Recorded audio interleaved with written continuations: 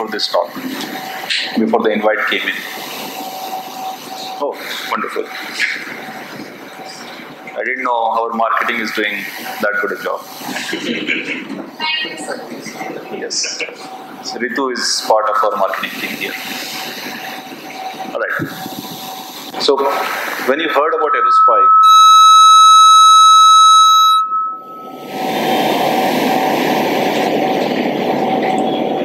what is the first thing comes to your mind? Is it another software product?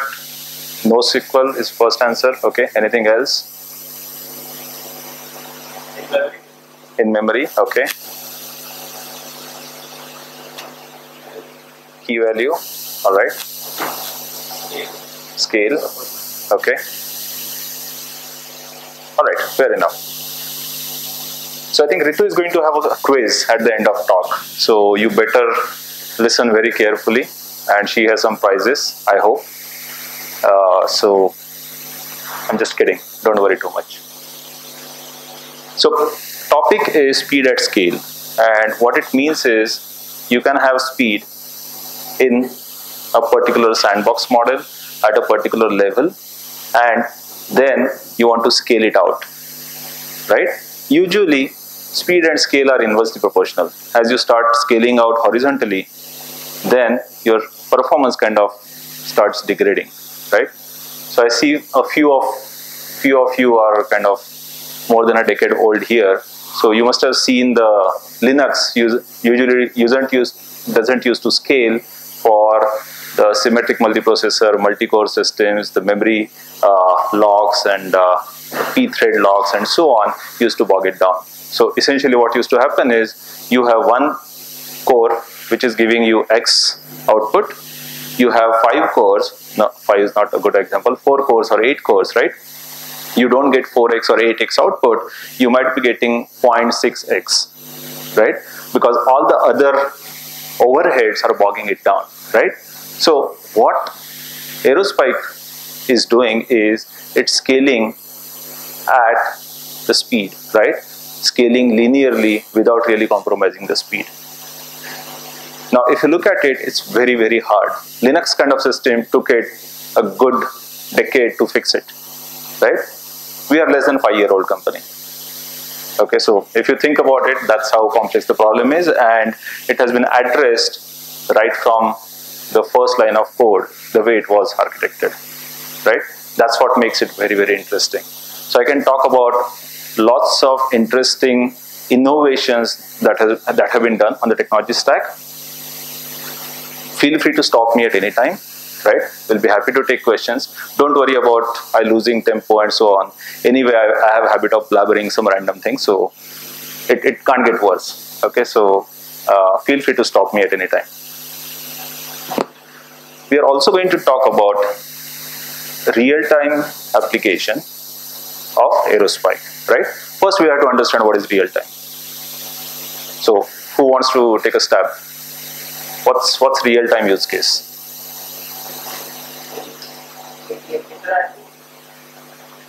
Interactive, okay. ATM cash transactions, okay.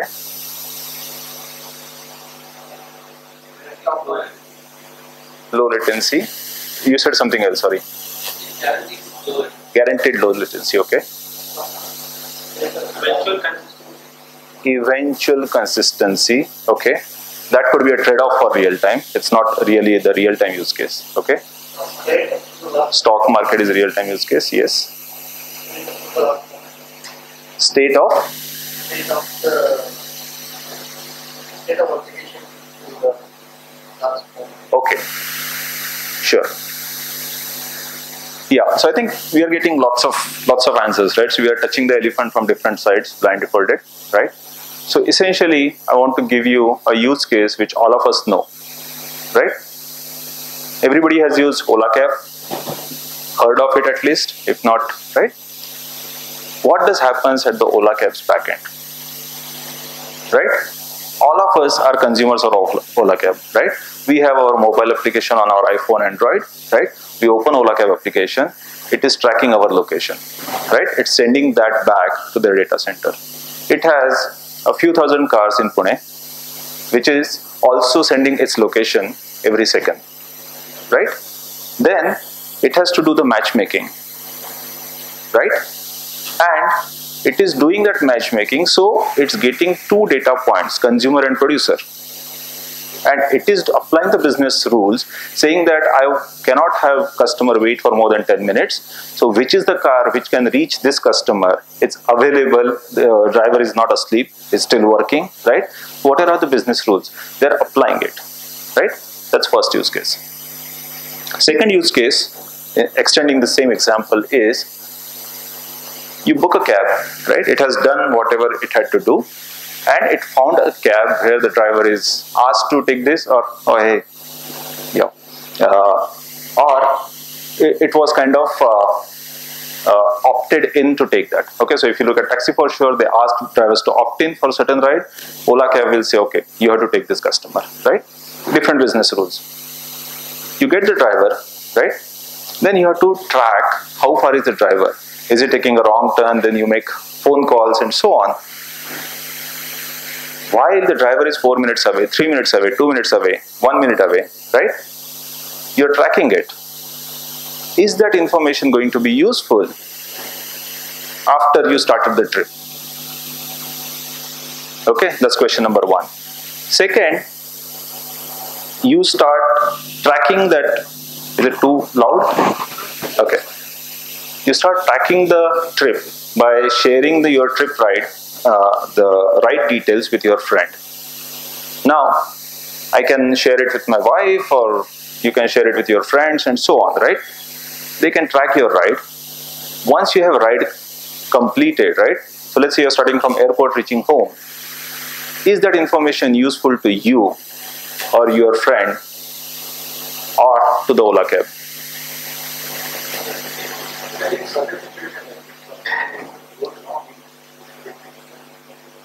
Yes, I'm, I'm talking about after it has finished. No, after you read successfully, the sharing information is useless. I think that's what the question was. Correct, right? What that means is it is going to be useful as not the individual data point for but for finding trends, doing analytics on it, right? So, so you require a different kind of system. It's no longer a real-time system. You will get a Hadoop or MapReduce kind of job to compile all that data, analyze that data, and make some inferences which are going to be useful to your business so that it runs more efficiently, right? So real-time use case is where somebody said interaction, right? So it's a real-time interactivity. And then after a while, the data may not be that useful okay? Or it might lose its relevance from the real-time perspective. Got it? Okay.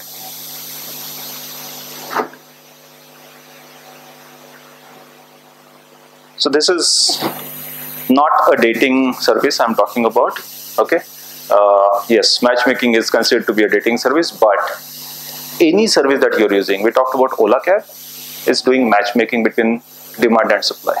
Okay, you use Book My Show, you use uh, Clear Trip, Make My Trip, uh, OLX, blah blah blah. Right? Everybody is doing uh, matchmaking because the demand and supply is dynamic, right? It is not the FMCG product where you are uh, producing millions of Rin soaps, right? Where you don't have to worry about you running out of supply, right? You can always do a on-demand manufacturing of that, right? But when OLX has only one sofa that needs to be sold out, it cannot be sold to two different people, right? When you're buying a ticket to City Pride next door, right? Book My Show cannot sell you ticket and sell somebody else the same seat number, right? You would immediately drop Book My Show in your mind as a trusted trusted service, right? So it's all doing real-time matchmaking without really failing, right? And without compromising the user experience.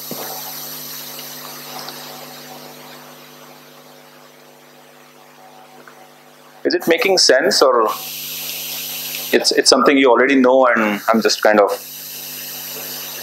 okay. So these are few examples of real-time use cases. First one, I'm sure everybody has heard of InMobi, right? What InMobi does is, again, it's a matchmaking between demand, okay? Demand is all of us when we open our mobile phones, uh, web browsers or applications. And supply is the advertisers which are giving ads to them, right? There could be multiple other parties in between. There are SSPs and DSPs and so on, right? Everybody is tracked. All of us are tracked. Okay, for example, uh, I bought Kindle for my daughter last week, right? And Amazon is still sending me offers on Kindle, right? So clearly their algorithm is messed up. Okay, but they are tracking me, right? So all of us are getting tracked. You browse for a house, you browse for a bike, you browse for anything, right? Next day you open Facebook and you, you're flooded with those kind of ads, right? That's what the matchmaking is done by InMobi kind of guys, right? Now, the beauty is the SLAs are very, very hard, right? I think, I think I'll, I'll skip that for the next slide. Snapdeal, all of us know Snapdeal, right? What is Snapdeal doing, right? I have five iPhones for 50% discount, right?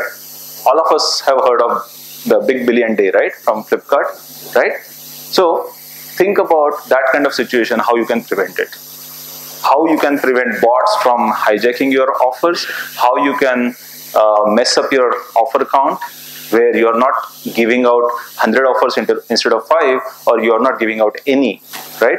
Or you ask somebody to add that into checkout process and then you say oh sorry it's sold out. Okay? If it happens to you think about how you would react right? So it's, it's very very crucial third example is uh, online fraud detection right so when you're using credit card online, right? Forensic uh, IQ is another uh, company which does fraud detection for online advertising. Now you think about it, online advertising has a SLA of 10 milliseconds, right? Somebody is hijacking into that 10 milliseconds and doing a fraud detection before it happens. Okay, what is their SLA? Right? And Forensic IQ does that fraud detection for 500 million users in real time with SLA of no more than 2 milliseconds. Okay, so I'm just cranking up the load, right, to just drive the point home. Stock trading, somebody I think already talked about stock trading, so I don't have to talk about it. And we already talked about the Ola and Book My Show and so on, right? So all of these are real-time use cases. All the names you see are our customers. So Aerospike is deployed and they're using Aerospike for the exact same use, case, use cases that we have been talking about, right? I just use InMobi and Snapdeal because it's a lot more relevant from the Indian context. We also have a few other customers, but uh, I don't want it to be a marketing presentation. So what's, what's the uniqueness of the real-time use case? So we are already big in ad tech, so I chose to include one para on the ad tech specifications. So speed of light, why it is relevant in this context. If your network packet has to travel from east coast of US to west coast of US, it takes around 70 milliseconds or more, right? you have SLA of delivering that ad in the customer's browser in less than 100 milliseconds. Right? So you knock off 70, 80 milliseconds for the network traffic. Right? Or people can go and have six data centers all over US so that they cut down the round trip time. Right? You let's say you bring it down to 30, 40 milliseconds. Right? The real-time bidding, the auction that starts and finishes in 5 milliseconds right? And everybody is tracking a few billion transactions every day, right? So InMobi, I think they do 150,000 transactions per second, right? And I was I was just handling one of their issue where they said, oh, by the way, our success rate for getting those transactions in that delta is 99.7%. Okay, where is this 0.3% transactions getting missed? Because that's a loss of revenue, right? So think about 0.3% of your revenue is getting leaked. Okay, you multiply it by with a billion transactions and it, it could be significant. So that's that's how critical the real-time use case is going to be, right? And it's getting almost everywhere now. Uh, online fraud we already talked about. Think about a telco doing real-time use case. How does your roaming charges are calculated? It's per second, right? Whether you're using data, voice, SMS, blah blah blah, right? and there could be again multiple parties involved. Think about using roaming as a national level, roaming in the international level, right? There are so many delegations that happen when the charges are calculated. And you are you are never going to be happy if charges are not accurate.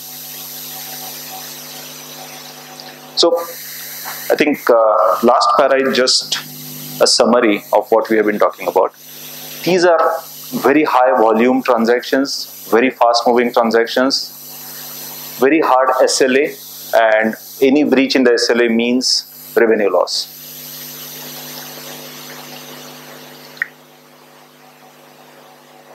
Everybody knows CAP, right? CAP theorem. So these, this is availability and performance, right? Consistency is something that could be compromised.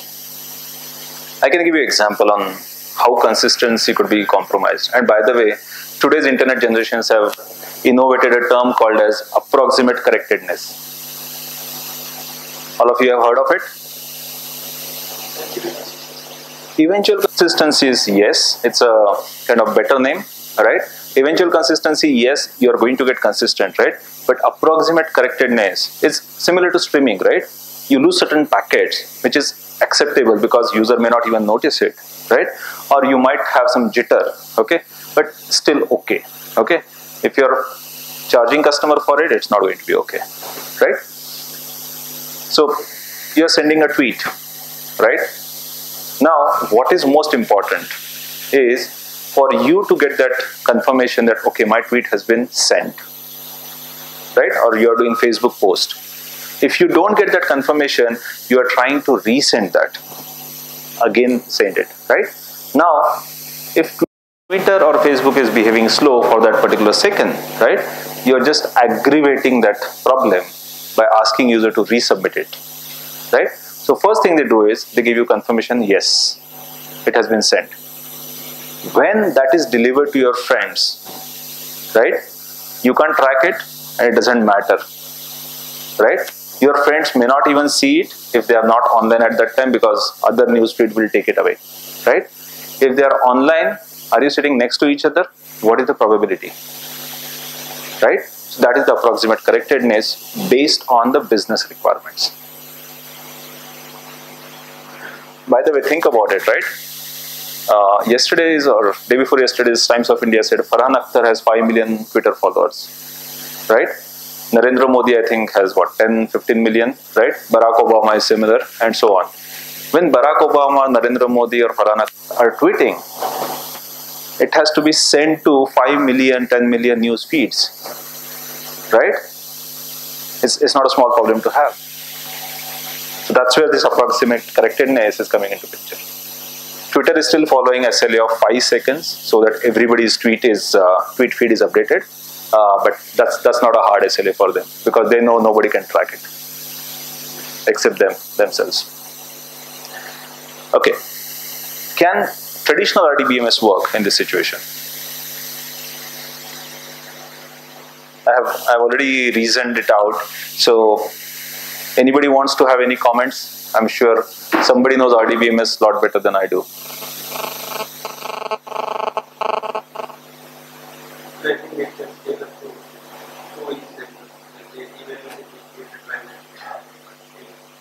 Mhm. over. Okay, so all right. So let me let me rephrase that. Right, what you said is correct. RDBMS is designed for storing something which is accurate for the perpetual storage, right? So it could be your bank's transaction which has to be maintained forever. It could be your income tax transaction, okay, whatever. So it was designed for something which was a prevalent use case 30, 40 years ago. That's where Oracle started, right? It is something designed for running all the time, right? And it has to be consistent, okay? There could be a delay, okay? For example, the online banking service used to close at 5 p.m. just few years ago in India, right? Now that is the use case. So you have the entire night to reconcile the data, right? So it's it's very different use case. In internet world, there is no sleeping time, right? Google doesn't go down, Facebook doesn't go down because you have users all over the world. RDBMS does a lot more things so that it doesn't lose its consistency. Okay, the ACID property that it comes with. It comes with schema because you have the primary key, second, secondary key, there are various database triggers, what happens, how a record should be written, right? It has to be validated whether it complies with the specific schema that you have defined. That slows it down. Okay, obviously you're doing a lot more work. Plus, it does transaction logging. So you say begin transaction, end transaction, commit, rollback, right? So it's not writing it to the master database. Okay, it's waiting for you to say, okay, my transaction is done. Please commit. Okay, or I have made an error, or user has exited the exited the system. So please roll back, right? So it was written for a very different use case. Sorry. And then isolation level. Yeah. So essentially, uh, if you look at it, it was for a very different time, very different generation, very different use case. 10 years ago, no company had billion users on their system. Right? Now we know a few companies who have more than billion users. Right? Most of the companies are tracking cookies ranging from 2 billion to 5 billion to 10 billion, right? Ranging up to 10 billion cookies. You would often wonder, oh, but world's population is 7 billion, right? How come I have 30 billion cookies? Right? On your laptop, let's assume you have only one laptop, right? How many browsers do you have? Right? So every browser could have a different cookie. How many devices do you have? Laptop, tablet, mobile phone, IoTs, and so on, right? So everybody has 10, 15, 20 cookies, right? The projection says, oh, everybody is going to have 10 different IDs in terms of uh, the way you have SIM cards, right? Because your tablet has one, phone has one, uh, your running device has one, uh, Fitbit has one, and so on, right? So that's the volume which, which didn't exist earlier. And when you want to scale horizontally, you have to have a different DNA of the system, right? All these databases are designed to scale vertically. So single box will give you very high performance throughput, right? And if you have to do something on the different box, maybe they provide mirroring, okay, but not not really the data sharding or clustering. It was few database it was added as an afterthought maybe. Can NoSQL fit the bill? So I had few guys, uh, Neo.js, Mongo, right? Can you please comment? I don't remember who was working on what, but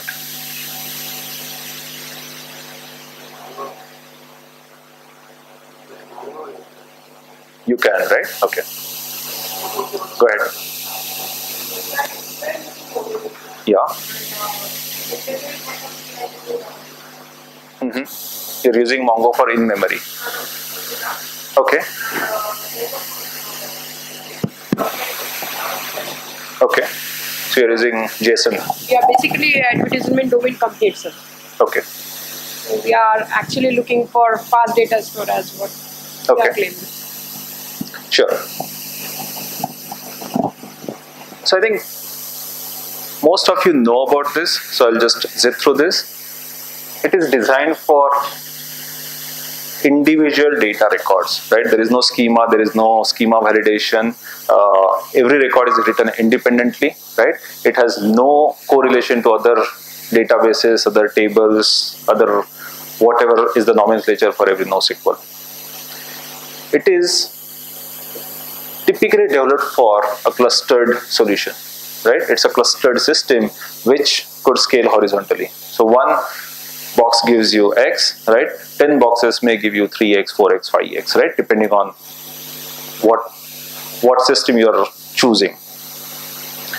So it could fit the bill, okay? There are also some disadvantages. It's still evolving. There is no standardization everybody would say, "Oh, my baby is the smartest, cutest, and so on," right? So, yeah, I'm with Aerospike.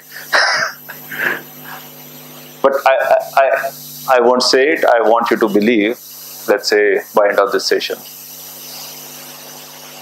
So that's that's where NoSQL is a probable fit, but it comes with its own catch, and I'm sure all of you have dealt with softwares. This, those are still evolving, and how how they could be a nightmare because there is no standardization they keep on changing the apis and then something doesn't work so how do you choose nosql right? And maybe that will be helpful to you.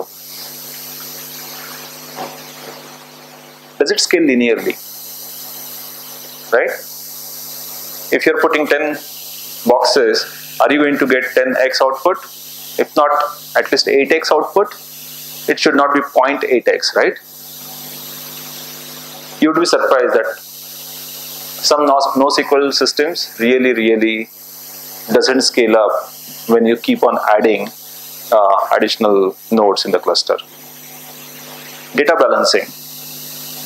How do you balance the data across nodes, right? Let me move to the next point so that it's not confusing.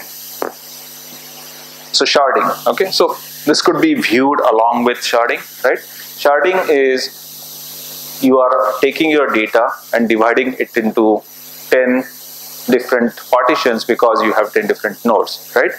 Now it could be done by your application. So I say, oh, this data node 1, this data node 2. Okay, I have round robin. Okay. Or I can say, Mr. Database, please do it for me, right? What happens if you add 11th node? Who takes care of your data balancing? So 11th node is going to be cold. So your application is going to decide, oh, let's divert all the traffic to 11th node. Okay, that's that's not scalable model. What if node 7 dies? Okay, so your application should be focused on your business rules. Okay, because there is already enough challenge uh, to get out of uh, the best real uh, real time use case and the most efficient business model, right? So, should the application worry about all these intricacies of the database? Sorry, Most of the cluster systems use consistent hashing. consistent hashing. Okay, uh, so the data balancing happens, sharding happens automatically. Yes. Okay.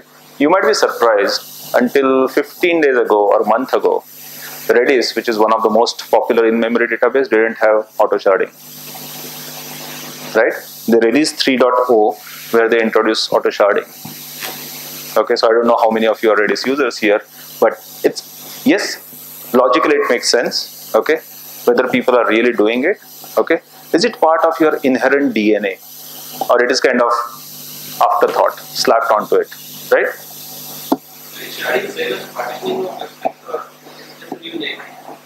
Sharding is a very popular uh, concept or terminology.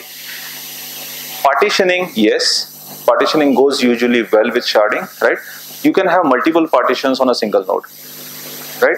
Sharding is usually uh, used in conjunction with how you're distributing your data across nodes. Okay, but that, that goes hand in hand. And this is required only when you have clustering.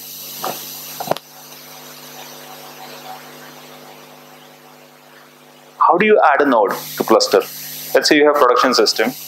We, we have a few hundred customers and no customer wants to take out their database because it affects their revenue, real-time traffic. So how do you add a node? What happens if a node goes down? How many transactions can you lose? Think about you have 50 terabytes of data on one node you shut down that machine and bring it up again. How long should it take to boot up? Sorry? Around uh, four hours around. Four hours? Is that acceptable? No. Yeah. So it, it could take much, much longer. It, it depends on uh, how large is the data, right? Most of the databases, what they do is they build those indexes on the fly, right? If you have no indexes on in memory, right? Let's say you are using disk storage, you have no indexes in memory, your transaction throughput is going, going to be affected, right? If you are keeping them in memory, you can't have them when the system is died. System has died, right? When the system boots up again, you have to rebuild them. Now, how do you rebuild them? You have to scan through the data, get it up all there, right? If it takes 4 hours, 8 hours, 12 hours, right? That's a potential downtime you're looking at in the production. Sorry? What can use non-volatile RAM Yes. where you can keep all the indexes so that you don't need to rebuild. Yeah. So you can you can do some creative things. Uh, so for example, in case of Aerospike, we already have fast restart where all the indexes are persisted uh, without really adding to the uh, latency or throughput, and it could be brought up in a couple of minutes for this kind of data volume we are talking about. So you don't have to wait for four hours, six hours, eight hours. Does it work on commodity hardware, or do you need special appliances? Right? Sorry do you do you have to wait for the special appliance when your business is taking up? And your appliance guy says oh by the way i can only ship to you this one after a month. Right? So you have to think about that as well. Can i run it on aws can i just spin up newer instances have elasticity defined and be there? Right? I don't have to worry about how many nodes I should have, how much traffic I may have, right? I just define rule with based on CPU, memory, whatever, right? And I just keep on spinning newer hardware. Adding capacity. Okay, so we uh, we already talked about how how hard it is to add a node, right? Does it require downtime? Very very important question. We talked about the node down downtime for rebooting it, right? Typically, that would be required when you are upgrading your server.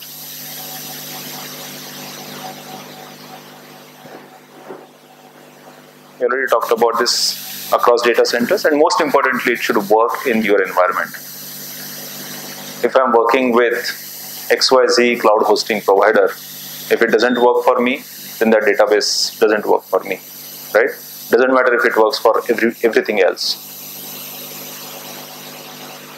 right? So coming back to the same slide, speed at scale.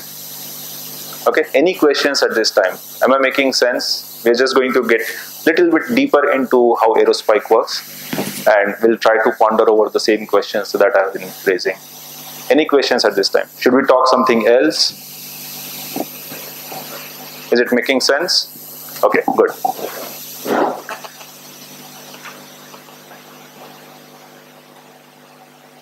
So since most of you have heard of Aerospike, I think you already know about it. The beauty is it is a database that is written in C, written from the first line of code, right? So there are few databases which are NoSQL databases written in Java. Okay, let's for a moment compare what happens between C and Java. Everybody knows garbage collection, right? So what happens when garbage collection kicks in? And all kinds of working. Yes, you can't you can't plan for it. That's the first thing, right? And then it could it could bog down your system performance, right? Without really giving you any flexibility on how to plan about it. Java is running in virtual environment, right? JVM. C, you can directly have hardware interfacing done at the network interface level, SSD level, hard disk level, uh, uh, memory, and bunch of things, right? You can get into the kernel, right? So you can do all of it. It is the first system which was optimized for SSD. So four or five years ago, when the founders of the company were at the drawing board, they said SSD is the future. Let's make it for SSD, right? Let's make it the best performing system for SSD. It should work for other environments as well. What does that mean? You know what is SSD, right? Solid state devices. It's everybody has a flash drive in their pocket, right? USB storage. It doesn't have a mechanical rotational component, which your typical rotational disk drives have, HDDs have. That means there is no physical component moving to find the data location, right? So it's going to be faster, obviously. With your physically rotational disk, how many heads can point to different data locations? There is a limitation imposed by physics, right? If your head is at a particular position, how, how can you read other data at the same time? SSD provide you parallel channels, right? And it depends on the SSD provider, 8, 16, 32, and so on. So you have two different, two major advantages. Again, it's a, sorry? Yes, so I was coming to the next one, right? Again, it's a evolving technology, right? So the cost was higher, okay? The cost is reducing, right? And all of us keep on buying this 2 gig, 8 gig, 16 gig uh, USB drives, right? So we can see how much we used to pay two years ago and now how much we pay, right? So the prices are falling. The problem SSD have is how many times you can read and write from the same memory location. There is a variability of SSD so that if you are overusing the same memory location, you are going to limit the life of that SSD drive. Right? Only for that particular bit. Okay? But you won't know what, what bit has failed. Okay? Unless you keep track of it. How do you overcome that? What is what is the optimization? Can you have number of threads running in conjunction having CPU, network card, disk IO affinity? Okay, so in case of SSD, can you have let's say you have eight parallel channels on SSD, can you have eight threads with affinity to those SSD channels?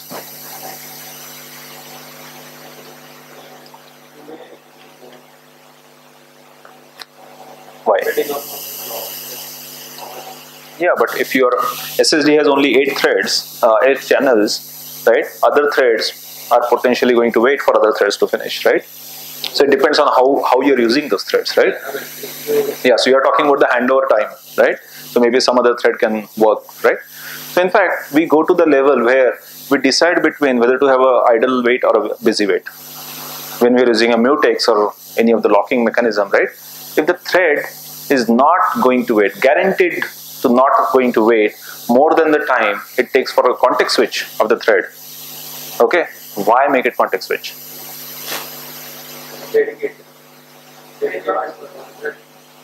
Mm, No, no, this is different. Okay, so I'm not talking about the SSD part here. Okay, everybody knows mutexes, right? Okay, So mutexes can have a busy wait or idle wait. Okay, some systems call it spinning lock as well, right? So when you are spinning lock, it's like you are doing a while one loop while you're waiting for the uh, lock to be released. Now that is going to be costly, so it's not advised. But when you are making a conscious trade-off, saying that oh, this spinning lock is never going to take more than what it takes for the thread to do context switch. It's still going to be faster for me. Right? That's what I was talking about. How do you get over the variable aspect of SSD? Sorry, go ahead.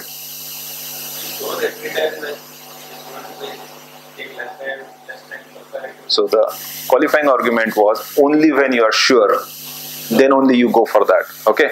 Otherwise, yes, you're fried, right? yes, you have to be very, very careful. No doubt. So for SSDs, what we do is first we don't read and write as much as possible. So we write in terms of blocks, right? Read you have to do anyways. You can't get away from that. Second, we use SSD with no file system as a block store.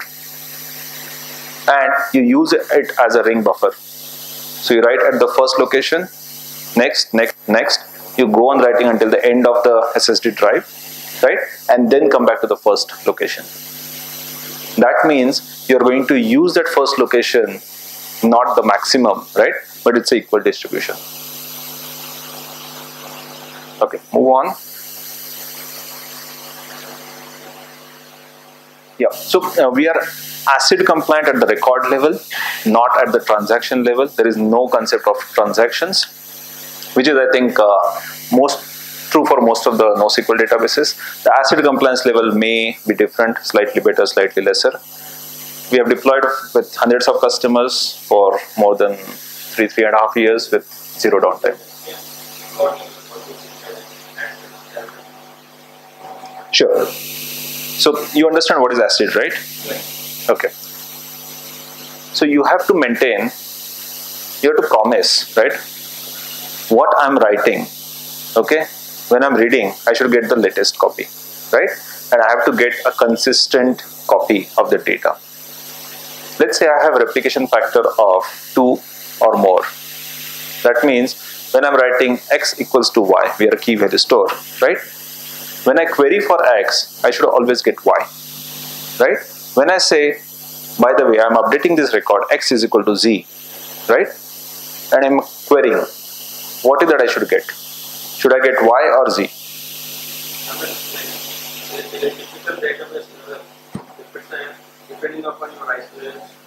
Correct. if you are interested in the dirty read, hmm then you get get. I mean, until that guy, whoever is updating get, he commits it, Mhm. you get get. Okay. Otherwise, you get y. Okay, so y was first and z is later, right? So you will get y unless that commit is happening, right? Here, there is no concept of commit because there is no transaction, right? So once the client application says x is equal to z, right? Whenever there is a next read, no matter where it's reading from, it's a distributed system, you have multiple copies of the data, right? It should always get z back. Okay, that is what the record level ACID compliance would be. So then what is the cost?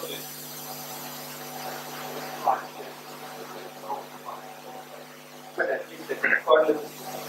So, see, think about it, right? You're writing as x equal to y, right? The data is written in the database, the transaction has completed. You're writing x equal to z, okay, which is a new value for x.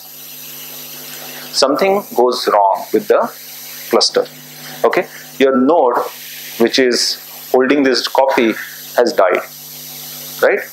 Your z might be in flight, right? It might be written only on one node, not written on the second node because the second node doesn't exist anymore. Okay. Let's say nothing happens to the cluster. You are write, writing it to the master record, master copy of that particular record. We don't have master node and uh, slave node or replica node. Master copy of that record, right? And you are going to write it to the replica, right? Now, you, you have some potential inconsistency, right? So by default, we are consistent right. Okay? Synchronous write? That's a blocking, yes.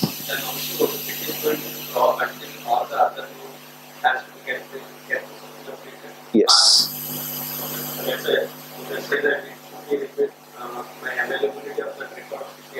Node. Mhm. Then has to all, at least that other also get updated.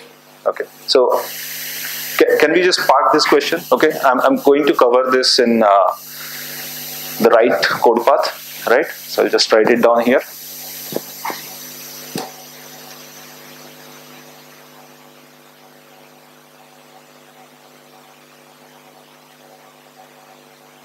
Okay, so that we don't forget it. Okay. By the way, with that synchronous write, what we are claiming is performance. Okay, that is with synchronous. You can turn it off and you will get even higher. And that's why this is true. Okay, so you can turn it off. Your application can survive with that.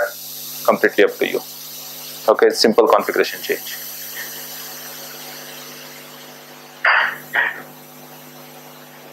Clustering. How how the clustering happens. So we are talking about how Aerospike works now, right? So forget about all the other databases that we were talking about. Step one, bring up all the nodes. Step two, there is no step two. Right? That's that's how simple it is. Now you think about it. Every node is a different piece of hardware connected over network. They have to detect each other. They have to know each other's existence, right? They have to have certain handshake between them for sharding, partition maps, and blah blah blah, right? That they have to do with almost no talking to each other. So the clustering, the auto clustering starts and finishes in less than 100 milliseconds. So are we using the full for that? No, it's not required. Sure, but we'll, we'll come to that. I'll just park here.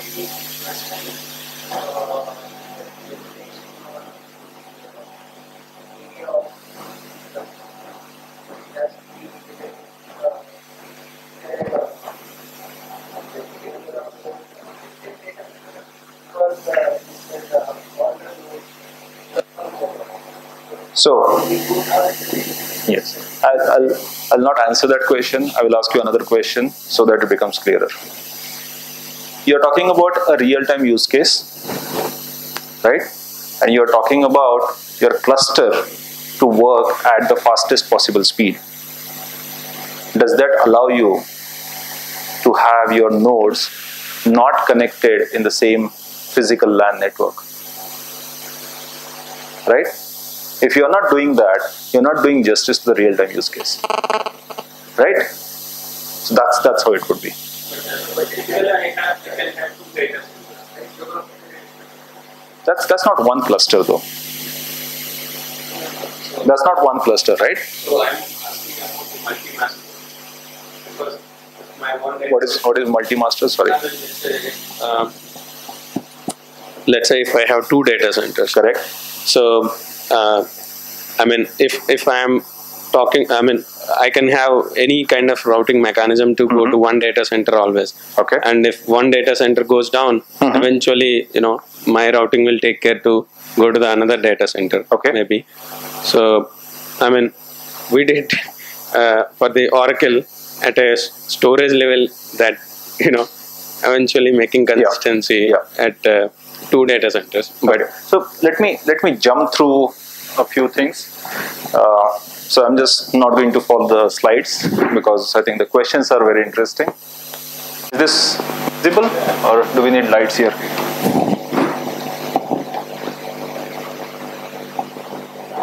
Is this visible? Okay. So you have a data center, right? And you throw N1, N2, N3 as nodes. You have another data center. You have N10, N11, N12.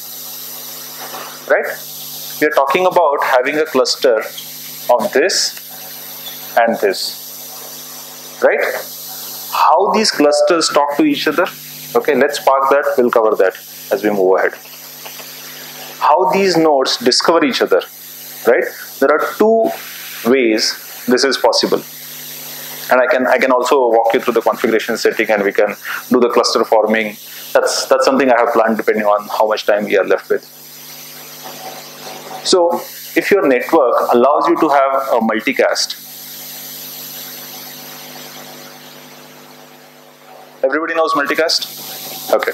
So if your network is enabled for multicast these nodes discover each other. Okay? Now discovering the node is not sufficient. So n1 says oh i found n2 right? N3 says by the way i found n1 and n2 and they have the gossip protocol and they say okay fine. Looks like we have n1 n2 n3 right? And the algorithm stops at the 100 millisecond uh, time window. And they say okay so we are a family of three nodes. Let's work amongst these uh, three node family. That's the starting step. You have other things to do right? If i write x equals to y which node should get that data? Right? And all these nodes after this they don't talk to each other except the heartbeat and sending the replicas. Right? They don't ask each other oh should i take this or should you want do you want to take this? It it also never happens that node 1 says okay i will have this. Node 2 says i will also have this. How does that happen? You want to get into the details? Okay sure. So you understood how multicast uh, could happen. Second is unicast or mesh right? So you you specify a seed node right? And they start discovering each other okay? This this is useful when multicast is not available on your network typically seen in the cloud providers because they have too many instances right? So they don't want too much of chatter in their network so they turn off multicast. So you form the cluster. What it does is somebody asked about the partitioning right? I think the gentleman in the back right? So every node or every cluster okay let me roll back I think we are, we are really jumping ahead of the slide. So some, some are going to be buzzwords for you. So we call database as namespace in our terminology. Okay. So you just remember namespace as database, right? When you do a create database in MySQL, right? It's similar to you are defining a new namespace in Aerospike. Okay. So per namespace, we have. Just erase this and use it.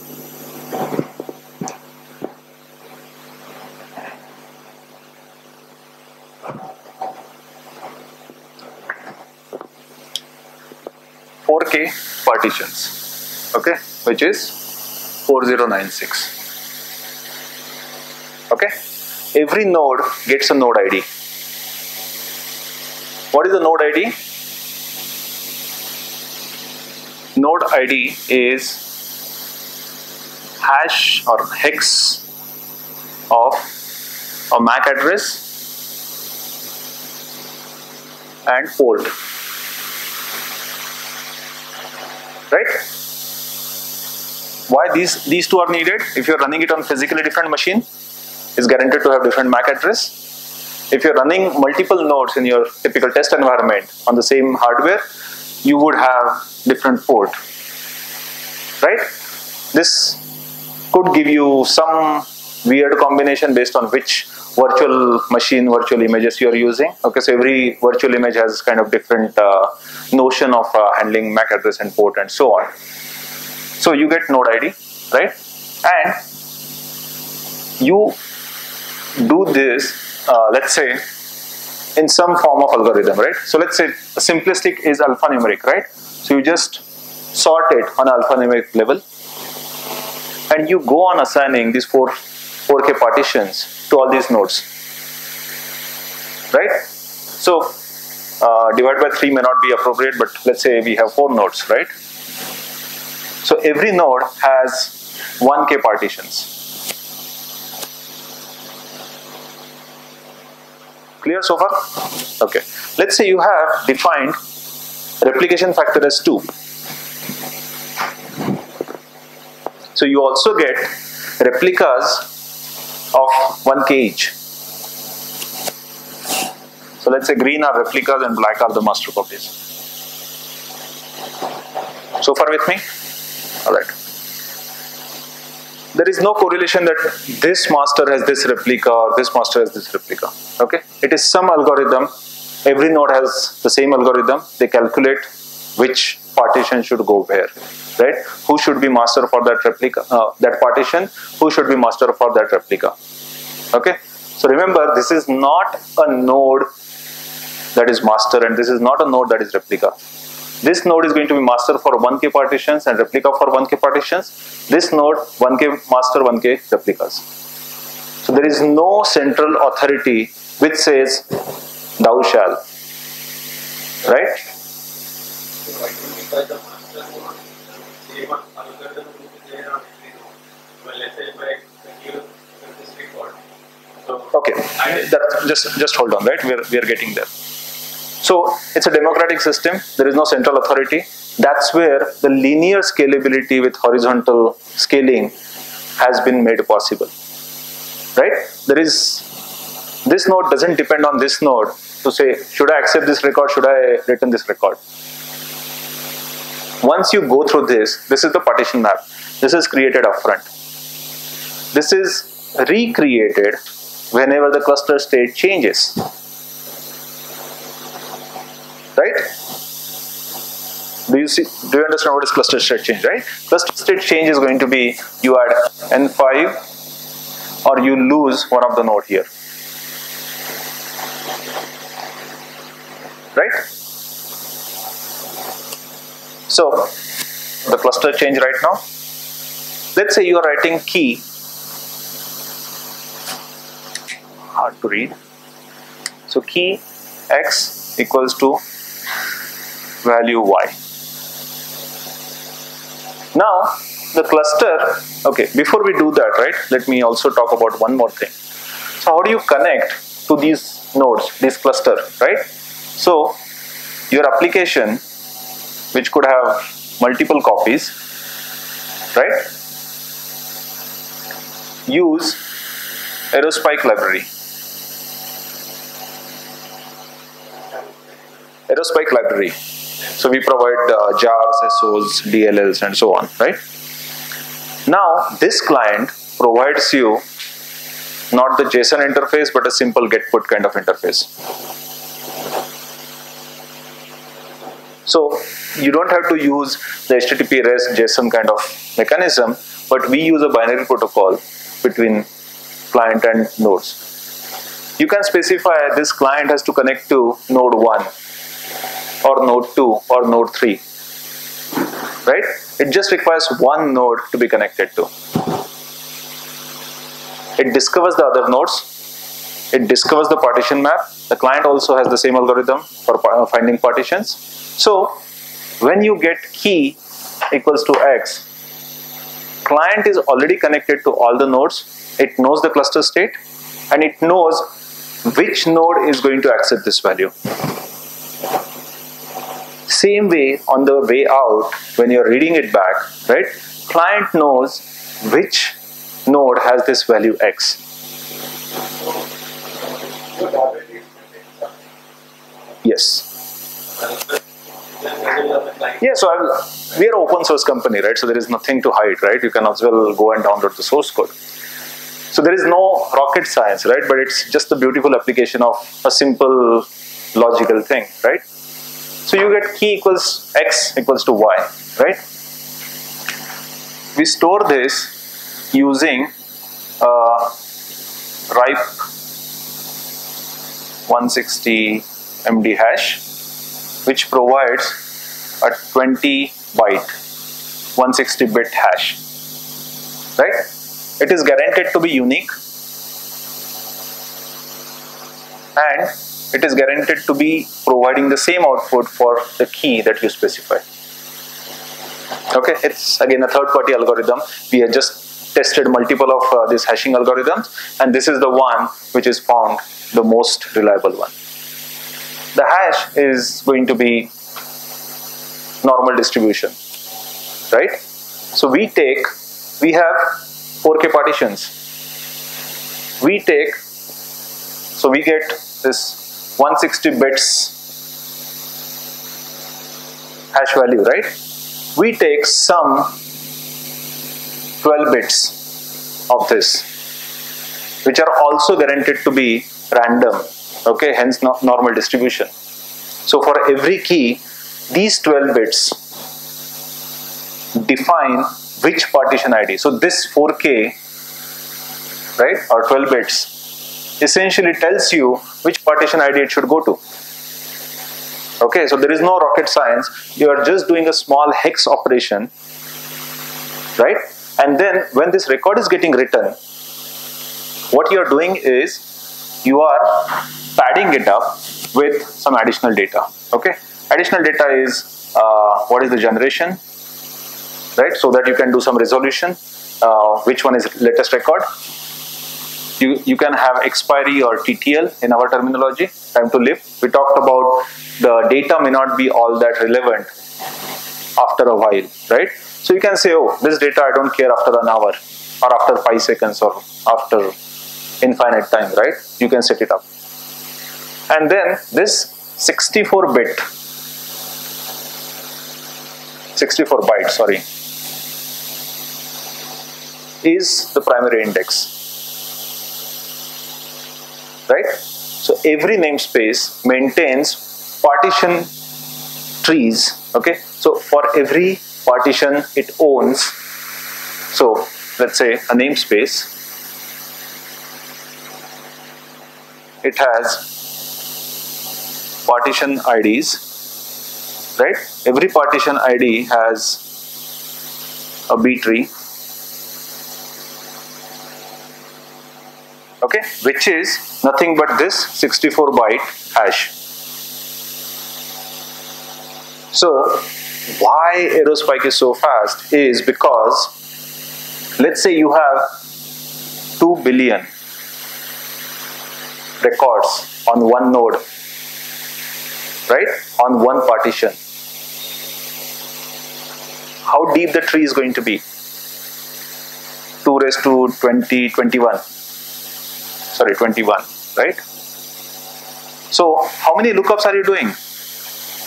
So you have 2 billion into 4k these are number of records not the data size. So for 2 billion keys on one partition map, one partition ID, you are doing namespace, partition ID, and then potentially 21 levels deep. Okay, so in 23 simple lookup operations, you are finding 2 billion into 4k, which is what 8 uh, trillion records on on a cluster, right? And on the network side, client already knows which node this record is on. Client already knows even in the partition uh, rehashing, right? When the node's cluster state changes, it knows where the data is moving to. Okay, we allow reads and writes even when the data is in transit.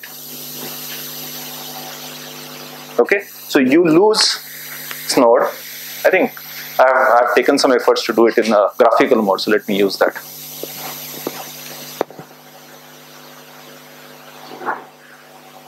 So we talked about auto sharding.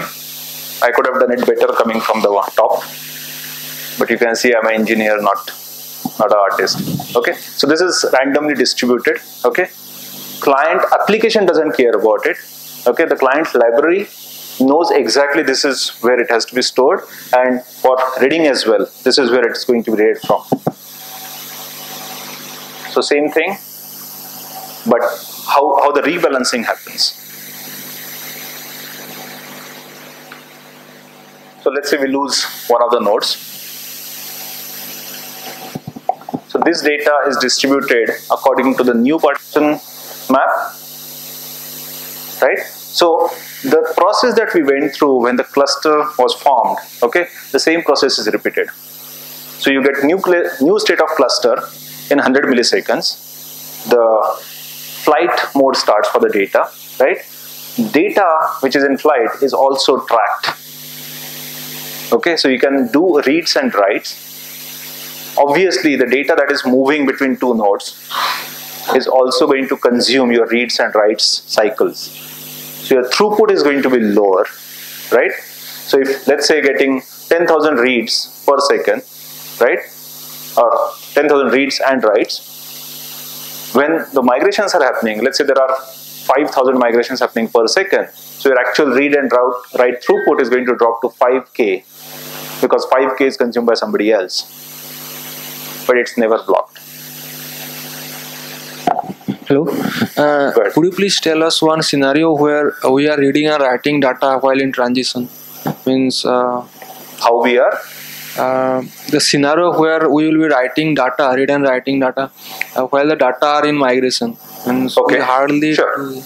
Sure, absolutely.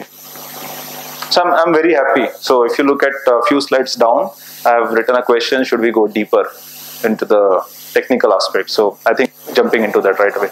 Should we take a break? I think it's past an hour, right? Yeah. Okay, so we'll take that up after we come back. Yeah, let's take a break now. And if anybody who have not signed the sign up sheet, please, I request you to come on the table and write your name and email ID.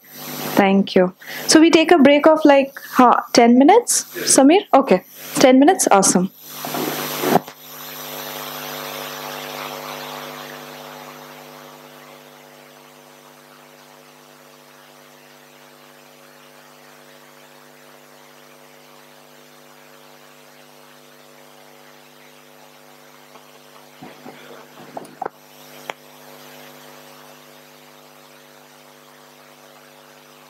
Yeah, so 510 we meet here again, but is this record from cluster 1 to cluster 2 there is no correlation.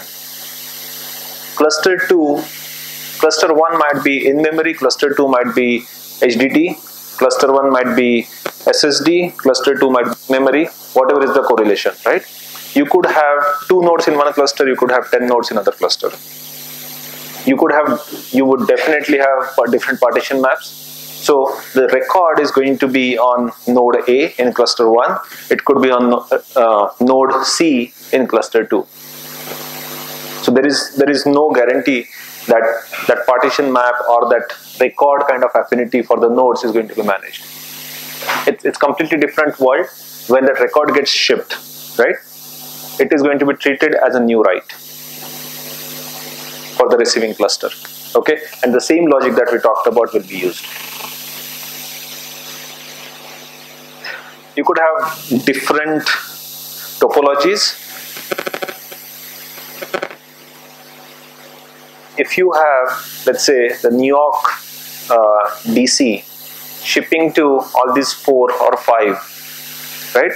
The drawback is it is going to consume into your write throughput because it's writing four times. You're, you're getting one write and it's amplifying it to the four writes for every record. Okay, so your throughput for that particular node or that cluster is going to be down by 80%. Right? So you want to do that in a more cautious way. What happens if you have ring? Right? You get all of us have seen the circular dependency error in Excel, right? So what happens if I make SFO connect back to New York or Japan connects back to New York. So these writes are treated as normal writes, but it comes with a flag saying that this is coming out of client, this is coming out of. So this cross data center replication is called XDR in aerospike terminology. So it's coming out of XDR, so it has that special value where it says, by the way, is this something that I want to write or I want to throw it off or I want to propagate it? Okay, so it's part of the configuration setting. There are still going to be corner cases, right? It's still evolving, but uh, XDR is one of the most complex cases. This is part of the enterprise edition, by the way. So community edition doesn't have this feature. Share nothing architecture. So we, we already spent a great deal of time here. Let me just make sure I have not missed anything. So we talked about no master node, no slave node, there is no central authority. Every node makes independent decisions and arrive at the same conclusion, which is most important, so that you don't have the conflicting situ- situation.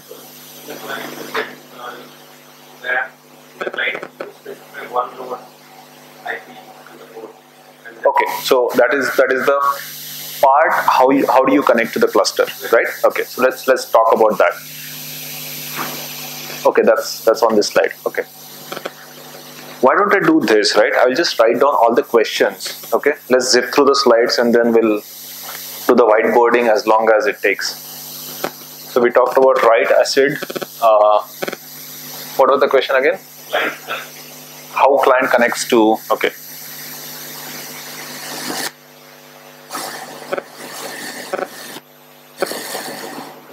Okay. All right. So I think we have talked about most of these things. Yeah. One most important thing is it assumes all nodes are identical. Right? If you're in democratic society, you cannot have the caste system. Right? Everybody is going to be treated equal. So if one node has higher throughput, other node has higher storage, right?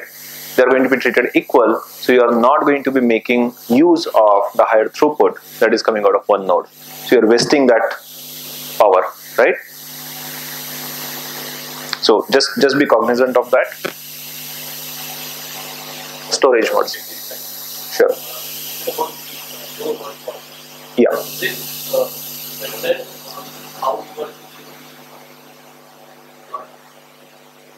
Okay. Can you elaborate the question? I understand hotspot is something where most of I understand as a hotspot is something where uh, given node is being uh, loaded Correct. more as compared to others. Mhm. Uh, now, uh, as it's a it's a um, uh, peer-to-peer architecture where uh, data is kind of distributed across the cluster, uh, and there is a partitioning mechanism which basically takes care of uh, how the uh, partitioning will happen. And I believe that uh, partitioning is also a function of how you choose a partition key, Okay. right? Uh, that's that's that's driven from the application. No. Uh, that is part of the algorithm that comes pre-packaged. The application doesn't know. Application doesn't care. Application cannot say this data exists on this node. Okay, that is part of the client library that Aerospike provides. Right, but then uh, again, it will be just doing a hashing based on, let's say that I have, uh, I, I will talk in case of Cassandra where we have the token range, right, and then uh, uh, each node is uh, assigned with a particular token range, and whether whether my data will be stored in a particular token range Sure. is dependent on what is the partition key I'm selecting, Sure. right? Yeah. So if I'm not uh, selecting uh, the right partition key, it will it will uh, eventually uh, no uh, get into hotspot kind of So, a, so when you when you say I am not selecting, right? Who are you? as Your a model as a, as a data modeler. Uh, Are you an application? Yeah, on an application Okay, all yeah. right, got it. Fine. So what I mean by having no hotspot is crude uh, transformation, but not having any single blocking thing or single point of failure, right? Everything is kind of distributed, right? So you have parallel paths for almost every operation. Now, that means something is not working. Something went south, something went down, right? Your operations are not blocked, that still continues. Okay, that's what I mean. Okay, so we'll, we'll talk about that as well. I think when we talk about the migration part, we'll, we'll talk about the hotspots as well. I think you're ready to lose the second IPL match as well. That's great. Sorry? Oh, is it? Okay, I, I haven't been paying attention to. Okay. All right. So uh, we have uh, a few storage models. One is in memory. I think all of you understand that. Second is disk storage, right, which is pretty common. Uh, so you can choose SSD or HDD. Uh, SSD we already talked about. By the way, I missed uh, talking about that. I was talking to one of you, uh, and I mentioned that ACT, Aerospike Compliance Test, is something defined and developed to test SSD performance, and that is used by most of the SSD providers in the world today. So Intel did a blog last month saying that they are the only SSD provider who does 1 million transactions per second on single SSD using Aerospike certification test. So that's that's how uh, reliable or uh, so essentially people are people are using us in a lot more relevant manner. Google Cloud has been doing some work uh, to show throughput of Google Compute Engine. So uh, there was there was a blog published on Google platform page a couple of months ago, which which by the way shows uh, what Cassandra takes 300 nodes to do. Aerospike does it with 50 nodes coming out of Google. Third one is uh, okay. So disk storage, primary and secondary indexes are still in the RAM, right? Uh, we talked about the fast restart. That's where these indexes, not the secondary index yet, but the primary index, gets saved onto the persistent store, right? So when you boot it up, it doesn't have to build from the scratch, it can just load it up. Hybrid storage is something where you can uh, use Aerospike in memory database configuration, right? But it maintains the persistence copy. So even if your node goes down, comes back up, right? It has that data, it doesn't lose that data. So you have advantage of uh, in-memory system, but also have the persistence without really having the transient nature of the DRAM. I think we, we talked about a bunch of these. So we have mastered share nothing architecture. I know a bunch of other database companies who have been trying to do these kind of systems, uh, but they haven't really gone past solving multiple hotspot issues, right? Uh, if you have central authority who decides who gets what record, who does how partitioning works, and so on, right? It doesn't scale because as your number of nodes keep climbing up, uh, it, it starts uh, failing, starts slowing down. SSD we already talked about. Uh, cluster formation we already talked about. Optimized for yeah. So rack aware is something uh, another unique thing I would say. So you can have replication of two, three, whatever is the number, but there could be a situation, and this happens with the physical racks that you may have in your data center, where a rack could go down. So you can configure it saying that my master and replica of that no, uh, record should never be on the same rack. Okay, so the partition map alignment is customized so that you always have the other copy on different rack. So you get higher confidence assurity of the availability. Okay, so I think we have already started talking about this namespaces. We already talked about this. Sets is kind of tables, what we would see in the RDBMS. Records is same as record, thankfully, and it's a key value store. So you can have, you will have one key per record, and that has to be unique across the namespace. And then you can have multiple bins. Bins is nothing but a value. Okay, so instead of having a key value pair, right, you have key and then a list of bins. So you can you can do your data modeling based on that. And the data types are supported are uh, strings, integers, bytes, blobs, list, and maps. Metadata, we already talked about it. We save generation count so that we can do the resolution in case of uh, issue For example, if your node goes down, right, you don't have faster restart, right? Again, the, there are only two enterprise features. One is uh, faster restart, and second is XDR, the cross data center replication. Let's say you don't have fast restart feature in your deployment. What it's going to do is it's going to scan the entire disk, entire database, and it's going to build that primary and secondary index. Okay, that's where it takes whatever four, six, eight hours, right, depending on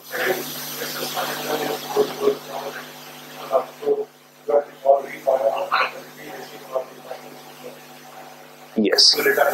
Yeah. So that that that is required when you're doing a cold start for example right? When your node comes up you, you still have data right now you have to determine what data do i have. Correct? How do you determine that? You don't have any index because that is lost right?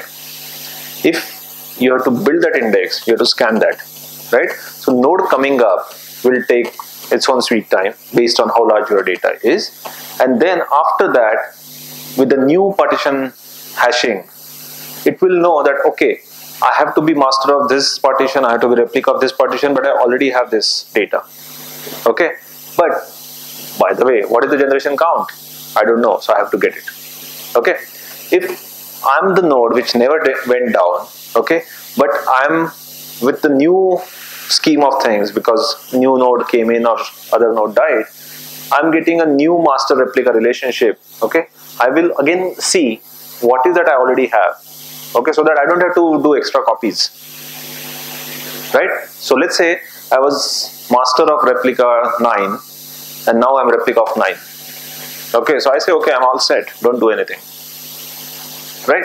Or it could be that i was master of 9 and i am still master of 9 right? I say okay don't touch me. So you just optimize that right? But when the node is coming up right it has no option but to scan it right and then you can as well do a clean start because you haven't lost any data because you already had a replication right? You can say okay i just want to wipe off this uh, disk. So you can just do dd command right? Do entire clean start right? It is treated as a brand new node. It boots up the node faster okay? It has to copy more data. Yeah. it's a trade-off. So bunch of clients are provided. Uh, so you can choose what is most appealing to you.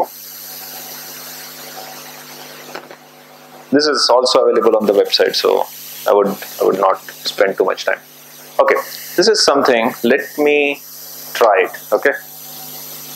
What i was thinking is i will just bring up nodes and try to see if we can do the live cluster and things like that will that will that be a good test of what we have been talking about?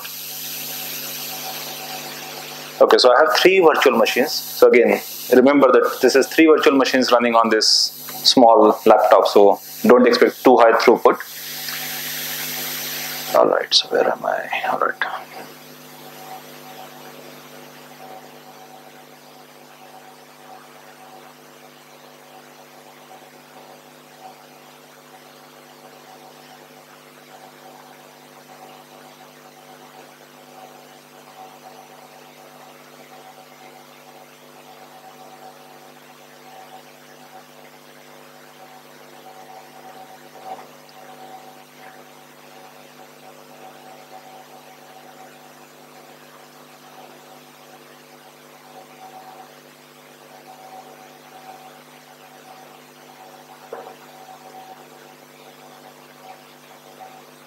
I'm using Vagrant.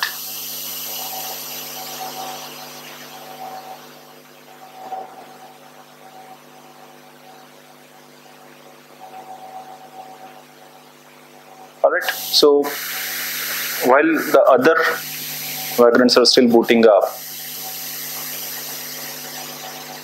what I can do is I can run one node, right? And then we'll keep on adding the nodes and we also have a YCSB test suite, which is a Yahoo Cloud Benchmark suite.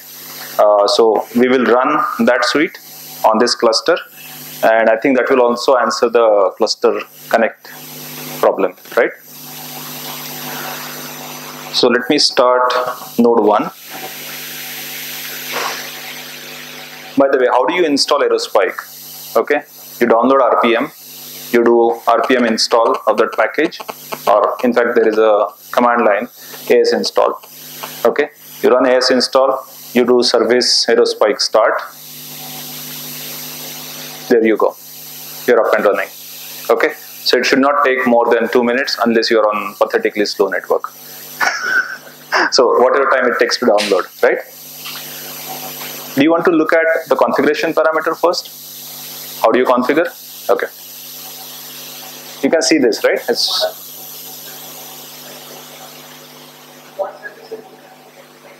it's only one service called ASD. Sorry? It's only one process which is running as a daemon. That's it. Every node is running the same process.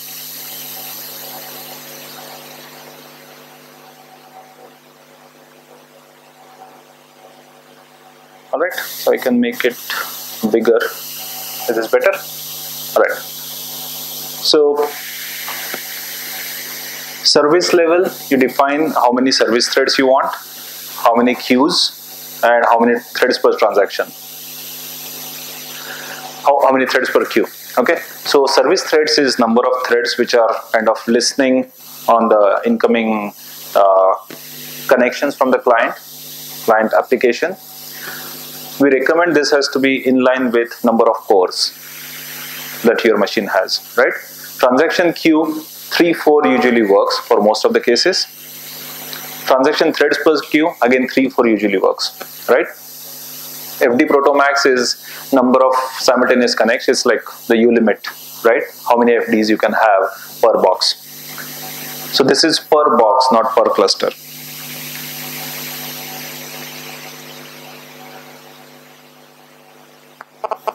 Address, you can specify the local address, uh, private address, public address. This address, the service address, right,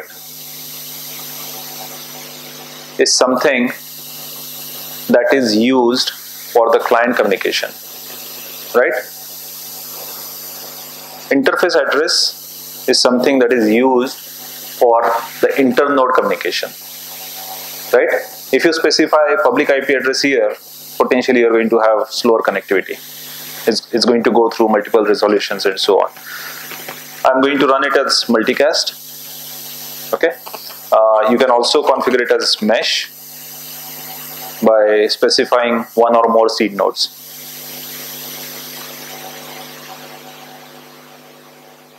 I have defined one namespace test, right? Replication factor is 2. Its storage engine as memory. TTL is 1 hour. So after 1 hour, I don't want that data to exist. And this is from last rec recently updated, last updated timestamp, right? And memory size as 1 GB. Okay, so I'm going to run three nodes, so every node is going to take 1 GB as storage and then some process, right? So I, I want to make sure that the laptop doesn't go out of uh, memory. Okay, so that's that's pretty much it. Okay, you can you can specify the right block size, and we'll we'll get into the details. So this is the block size. We we mentioned that it's going to be writing the data onto the disk in blocks, right? So what block size it should be using? So the values allowed are 128k to 1 megabytes in multiples of 128k okay so essentially you have four combinations. Okay there is no performance implication right? It's just matter of configuring it saying that how big my record could be. Your record size cannot be bigger than what you configure here. So maximum record size you can have is one megabyte. If you know your record sizes are going to be smaller you could poss possibly do a smaller record block size. So and the wind is coming and can disturb uh, the totally. Correct. So it is a record. Yeah. Are you referring to the entire entity or are you talking about the entire entity?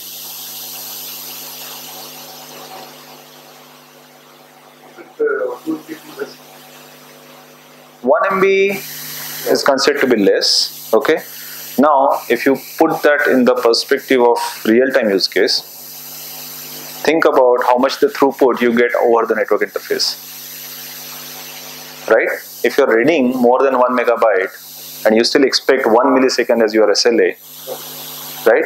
You have to compromise somewhere. So our sweet spot is the real-time use case. Can we make it work with 8 MB or 64 MB? Yes. Okay. How much extra overhead it would have? Okay.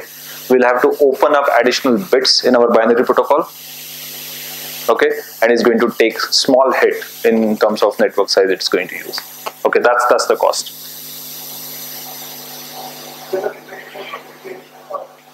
No, community edition doesn't have any restriction in terms of throughput, performance features, except the two I mentioned.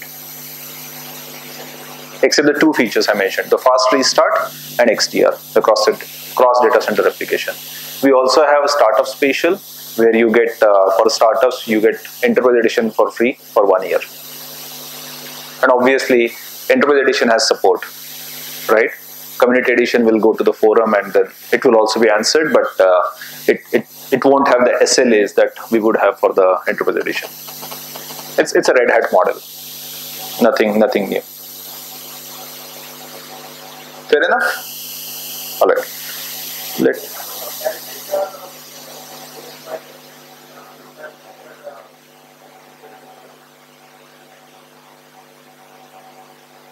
Sorry, say that again. I think this uh, display is not fitting with my resolution. Okay, so let me.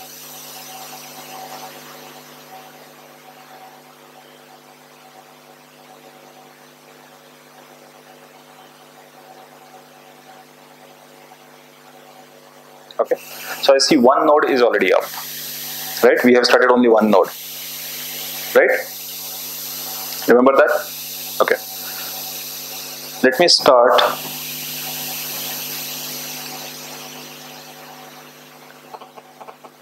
The performance test.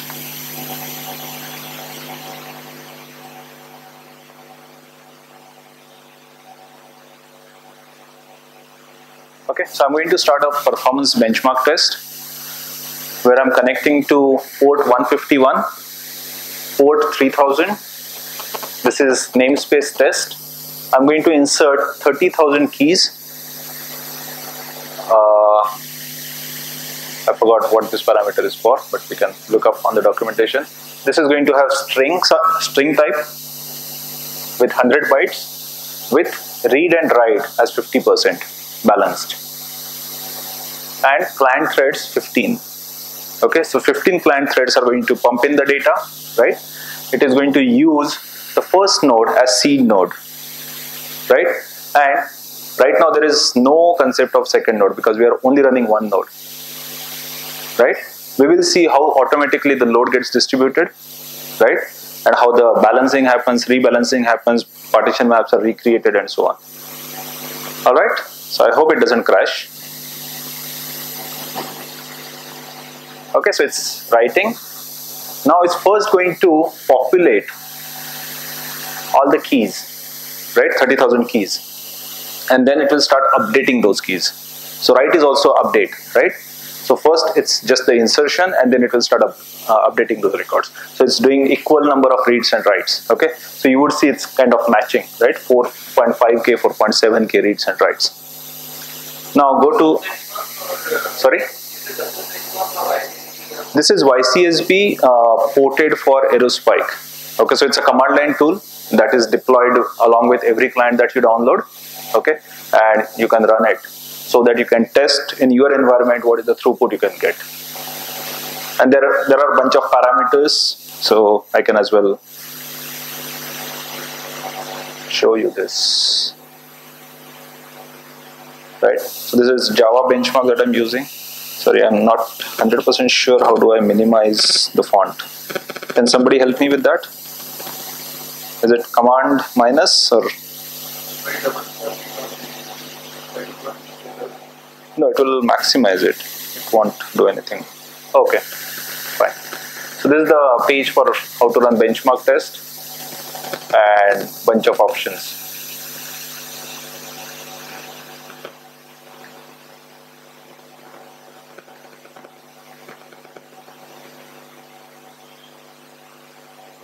Okay. Fine.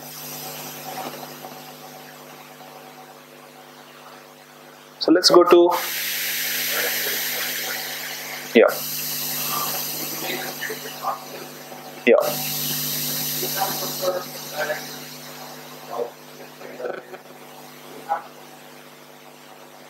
do you have some comparison of this database with other competitors and when you say fastest is it like 1.1 fa- times faster than the next guy or is it like two times faster what what's the Yeah. scale you are So- talking about Yeah, I, I made a comment right earlier that uh, everybody says their baby is the best and cutest and most lovable and whatever, right?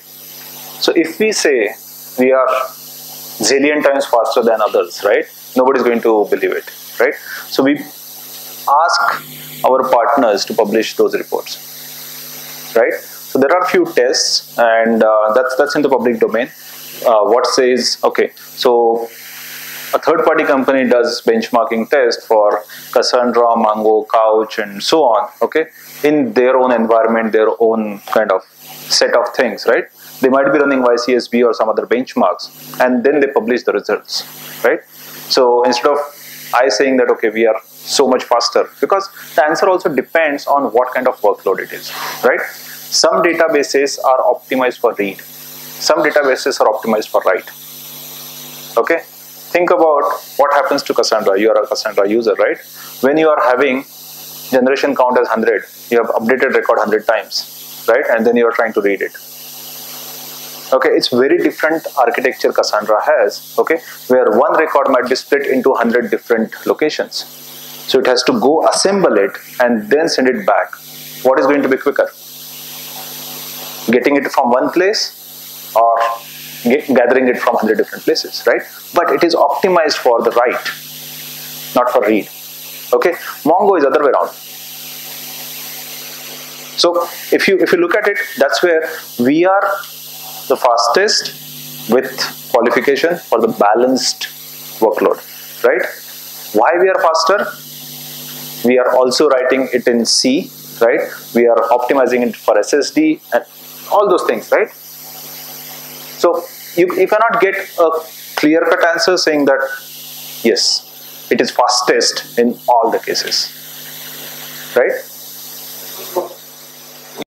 Even for the case that you are faster you, you know you balance workload Yeah. even for that case you would have benchmarks of other database for the same use case right Yeah.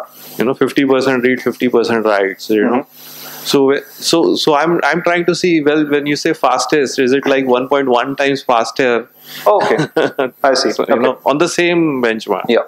So I would I would say uh, I think that's also answer to your question, right? So in memory, uh, we see Redis is the closest competitor, right?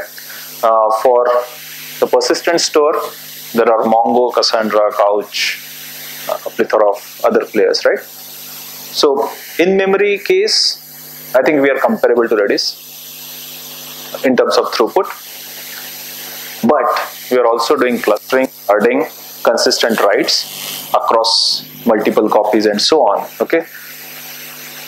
With Redis, you may not get the consistent replication. Okay.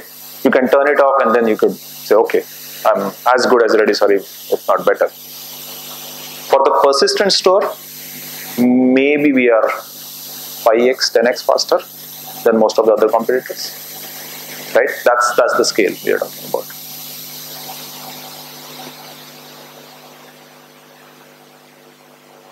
right so we have first node. So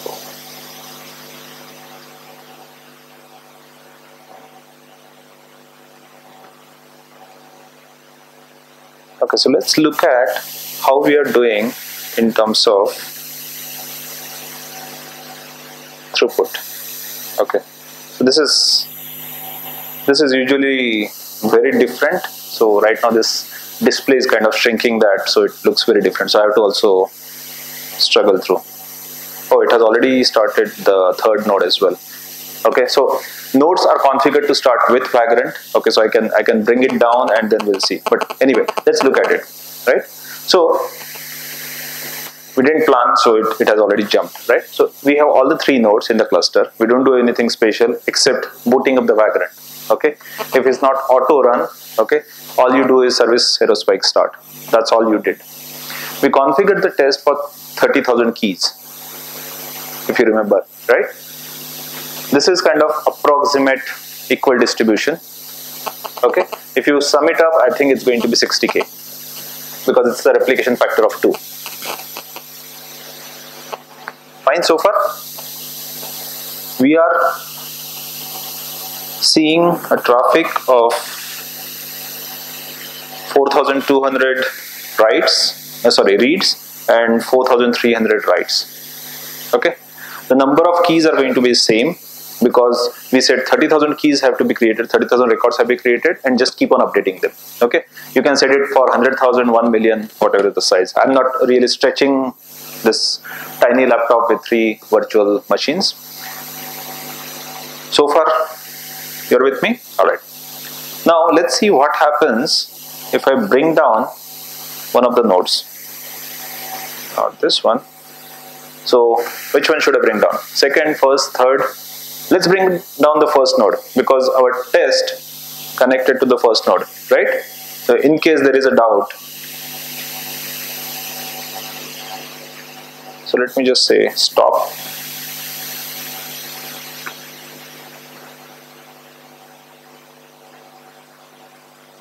Node went down.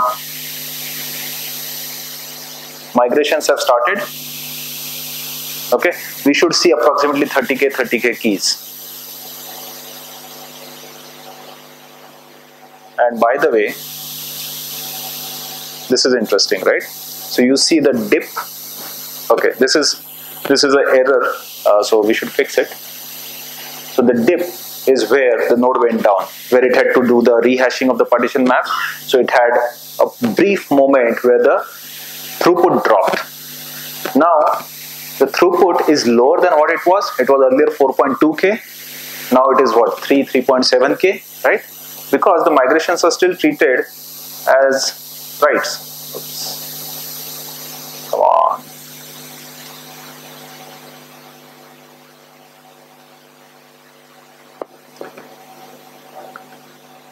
Think the problem is with this URL.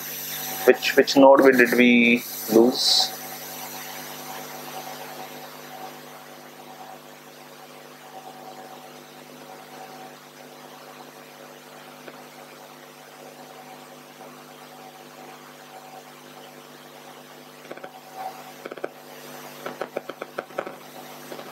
Oh. Okay, so I see. AMC, the management console, is running on only one node.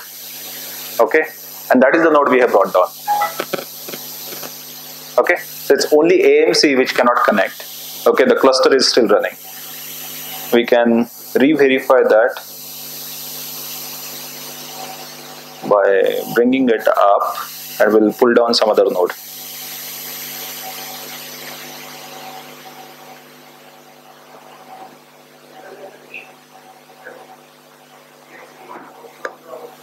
Can you can have AMC running on all the nodes, right? On my Vagrant image, I have installed AMC only on one virtual image. Oh yeah, yeah, you can run it on all the VMs. Okay. Do you want to do that because anyway it's reporting your cluster-wide status?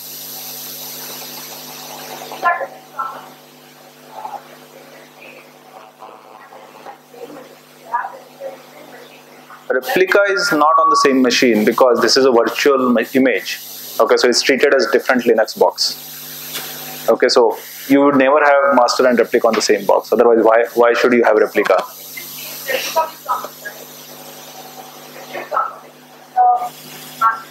Okay, so master of the partition, uh, whatever. So let's say partition ID uh, three. I'm master, and this node has died, right? I have a replica for this partition ID that take over. Okay, and so your migration will fix it anyways, right? But if I don't respond, I know the replica exists on the other node, okay, and I will read from there. No, no, no. So as you see, we, we brought down nodes, we brought it up, right? So what happened? The reads and writes were never interrupted, right? Now you can also do this in the command line mode. Uh, so let's say I do, okay, not the right way of doing it. It's connecting to 127, so I have to specify the VM address.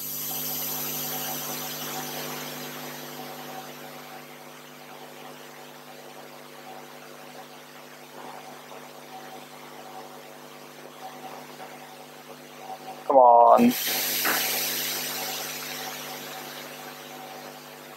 I think my machine is kind of slow right now.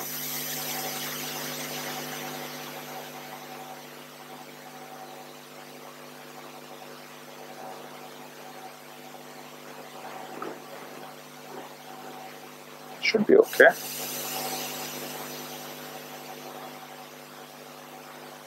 Yeah. Yeah, so it's it's gonna be slow. Okay, so why don't I stop this test, right? So that I can free up certain system resources. You would see the reads and writes rate dropping now. Yeah, there you go. And let's bring down the other node. So we chose the first node last time, right? Let's choose the second node.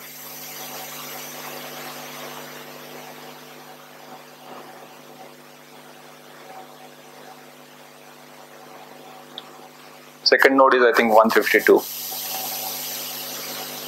Right? So these are migrations for the partitions. Right? Whichever partitions existed on this, which were occupied, those are partitions going on. So that was the proof of the pudding. Okay, so again it's reporting that error. I think I, am going to report it back because this URL is still including all the three IP addresses for the nodes. Okay, so it's reporting that it can't connect to a particular thing. I'm sure it's still updating. Alright, so let's move back to the PowerPoint.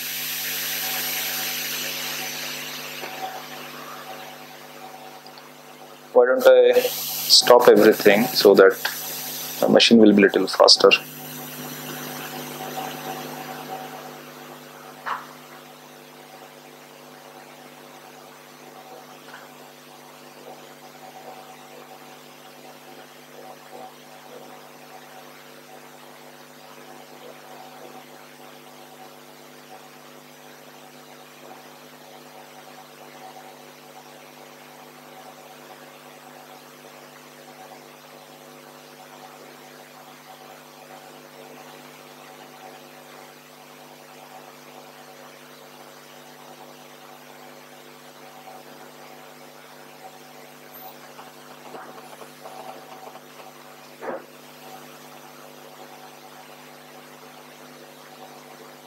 All right. Sure.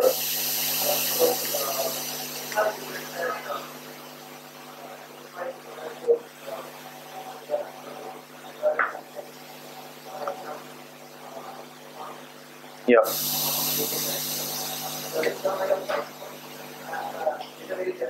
Sure.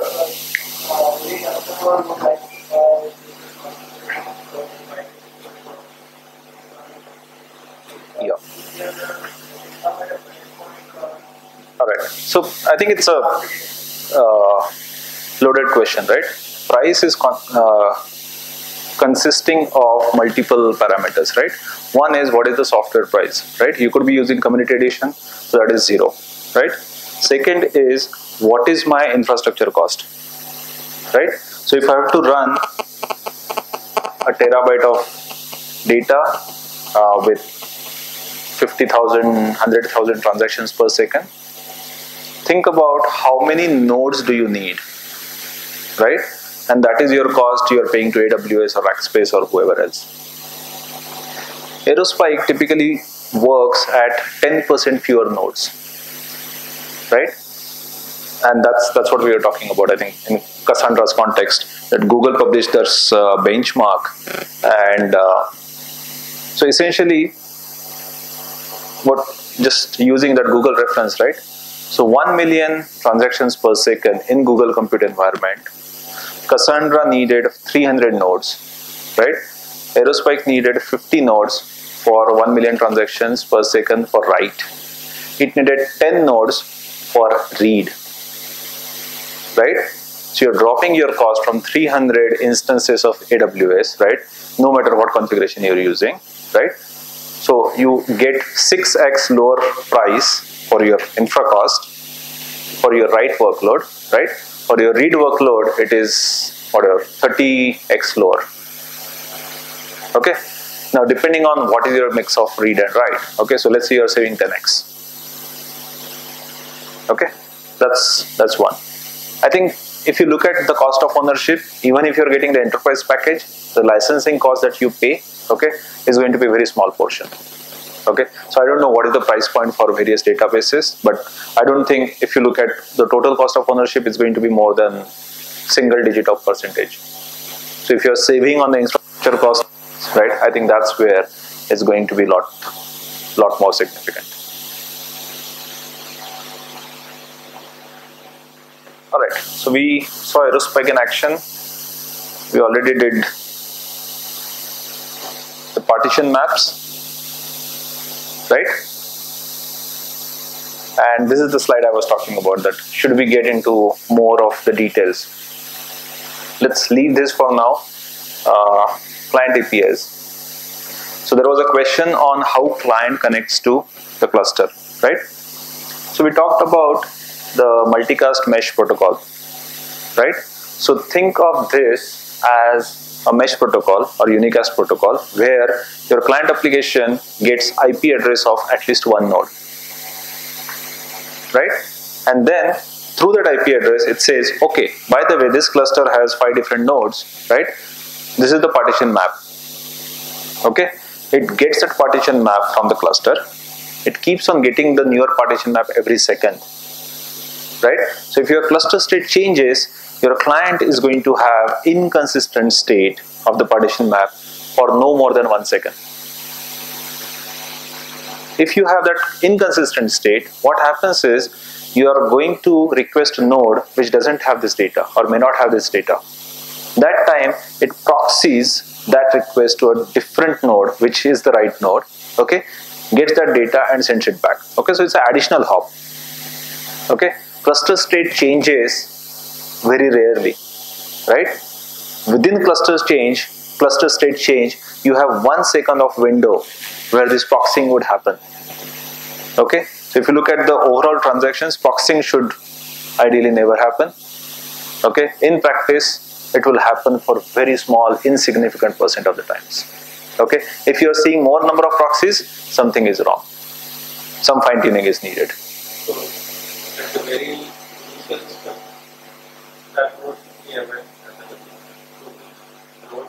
Okay, so yes, I know where you're going.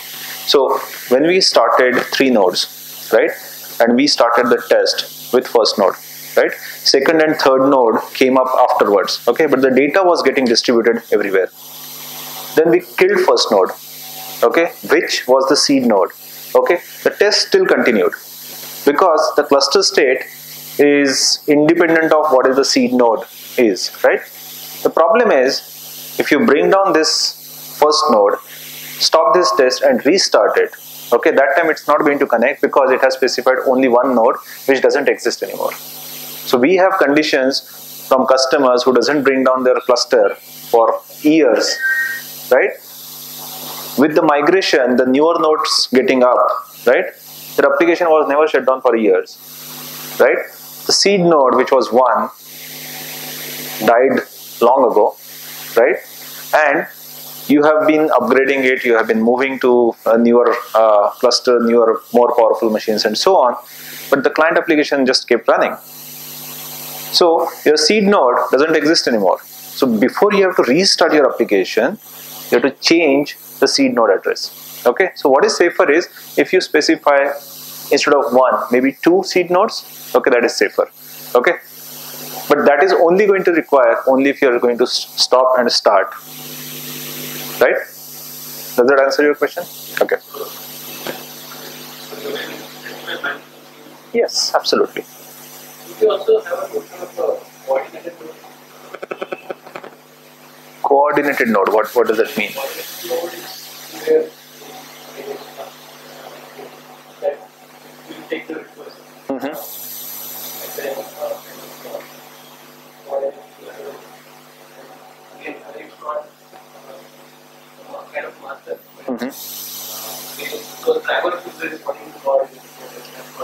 Yeah. So that's that that goes against the principle of democratic system share nothing architecture, right? So we, we don't have that. Okay. We have the transaction request going from one node to other only in two cases. One is the proxying, right? And second is when you're trying to write a replica copy. Okay, so it gets to the primary copy of the partition, right? And then it goes to the replica and then it returns to the client application only when the replica has been written successfully. Right? You can turn it off. We talked about it, right? You can say, I don't want a synchron- synchronous write. I can live with asynchronous write. Okay, if your business case can handle some sort of uh, inconsistent data state, right? You can choose it. Okay, you would get potentially 30% higher throughput right? Otherwise, nodes are independent, they don't talk to each other except the going down, Yeah, sure. Yes. Yeah. So I think that's that's a good place to get into the right part. Okay, so we already have that part. Okay, let's let's finish it up. Uh, I think we have only a couple of slides. How are we doing on time?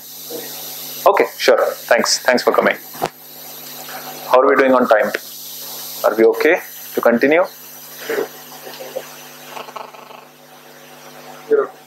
All right.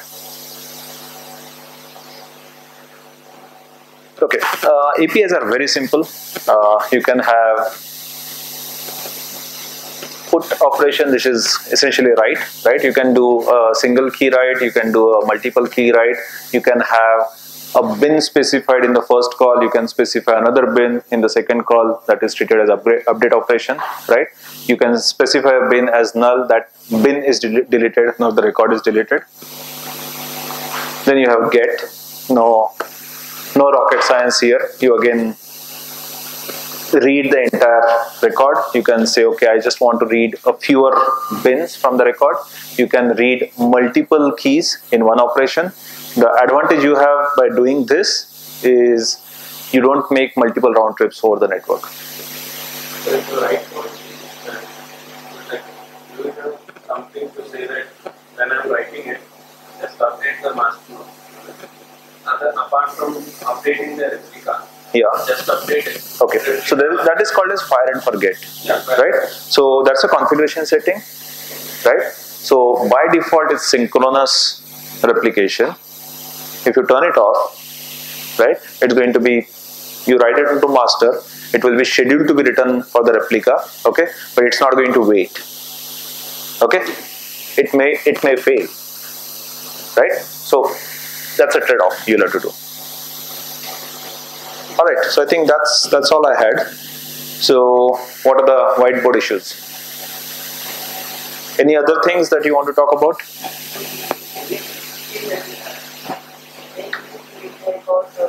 HTTP. So, the APIs that applications see are the native API calls. So, when you're using Java API, right, you get Aerospike client, you instantiate that object, client dot connect, right? That's how you use it. So, it's not a curl kind of REST API. Okay, it's it's a programming SDK API, right? Any other question? Yeah. When it comes to S might be more suitable for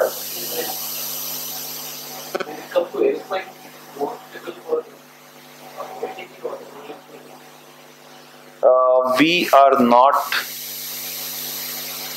Okay.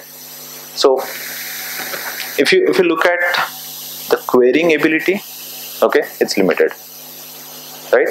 It does connect with popular analytical frameworks. Okay, so for example, we have uh, Lua-based user-defined functions. Okay, you can do certain things on the server side. So you can do potential map reduce. Okay, so we already have that as part of the uh, general availability release GA. Uh, you can do those kind of things, right? It is not going to be coming out of package, right? You will write your custom map reduce functions, right?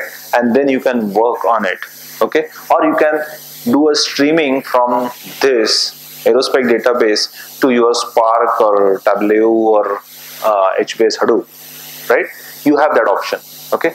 But as a native built-in API set, okay, we don't do really the analytical things, right? It is most of the key value things, right? You set and get, okay, at a consistency level at a very high throughput. Okay, that's that's what it is for, right? You get certain hooks, right, that you can use and do certain additional things, right? For example, we have a beta feature uh, which is called as LDT, okay, uh, large data type. So to answer your question, right, if you want to go beyond one million, one megabyte size, record size, right, how do you go uh, do that? So LDT is a solution, okay. Again, it is not going to guarantee the throughput because you are distributing the record. So we are not changing the block size, right? We are just making it go and write at multiple locations. Okay, similar to what Cassandra would do, right? It is going to be slower when you are trying to read it, right? But if your application has to have more than one megabyte, you could do that.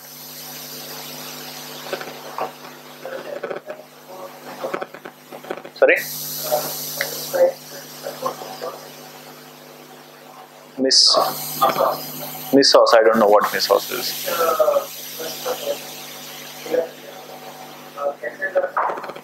I I don't know, so I can't I can't say. Mesos. Okay.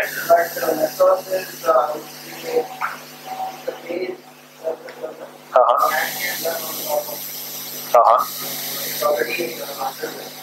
Okay. So is it is it a kind of clustering tool? Is it a load balancer that runs on top? Okay. Okay.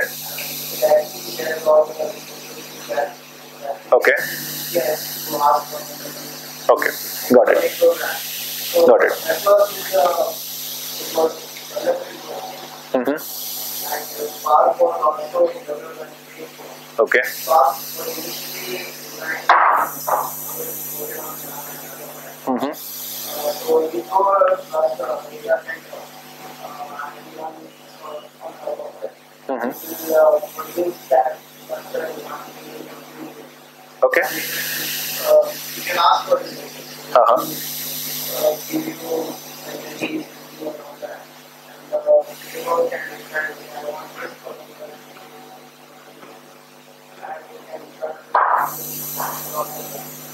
Yeah. So I I think the clustering mechanism we have is kind of similar, right? So we are bringing multiple nodes and doing the horizontal scaling. I think that's what Mesos is doing. But this is this is kind of same process running on all the nodes. Mesos might be doing something more, saying that okay, three nodes should run my Apache, two nodes should run Hadoop, and so on. Right. Mhm. Correct. So it's it's defining the affinity at the uh, CPU level, right, or, or the box level, right? Yeah. Okay. For example, I want to load a cluster. So you can give an API Mm-hmm. that I want to load my uh. Mm-hmm. And that's why Yeah, I haven't I haven't heard. Uh, take it from the method yeah. Yeah, so I haven't heard uh, Mesos in Aerospike uh, context, so most likely we haven't tested on it, right? But I can get back to you whether we have actually tried it out. Yeah, so let's say that if I want performance, if I want increase in performance, uh, your solution right now is to add more uh, nodes. Or is it, uh, will I get better performance by throwing in bigger compute power uh, nodes into the mix? And if I have to do that, as long as I have more CPU cores and more RAM, I can still democratically be part of the system, and I can decommission the uh, the old uh, performing nodes. okay. So let me make sure I understood your system, right? Uh, I understood your question. So we make most use of the hardware capabilities that are available on single box, right? That's where we are high performing system, right? Then that particular box, whatever is the capability, may not be sufficient for you okay? In terms of throughput in terms of storage in terms of replications the high availability part. So you throw in additional boxes right? The old model was oh you get a humongous box to run your oracle right? The new model is you get a commodity hardware out of aws google compute or whatever right? Which will cost you a dollar or two per day right? And then can you upgrade that to a more powerful machine? Or can you add more machines of the same configuration? Right? So both the things work.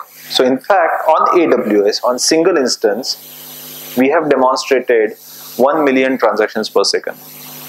Right? Obviously it would come with single copy of replication. Right? So all the um, shortcuts right?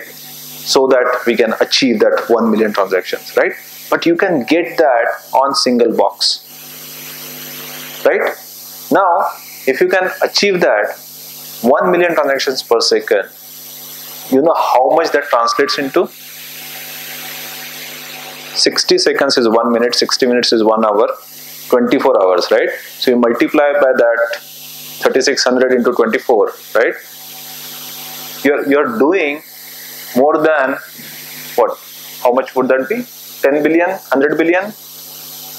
If your system is handling 10 billion transactions per day right then only you require additional capacity right? Very few systems in the world okay has that kind of load okay? What you want is insurance so that in future when i become big what is that i need? Yeah, but scaling doesn't necessarily mean adding more.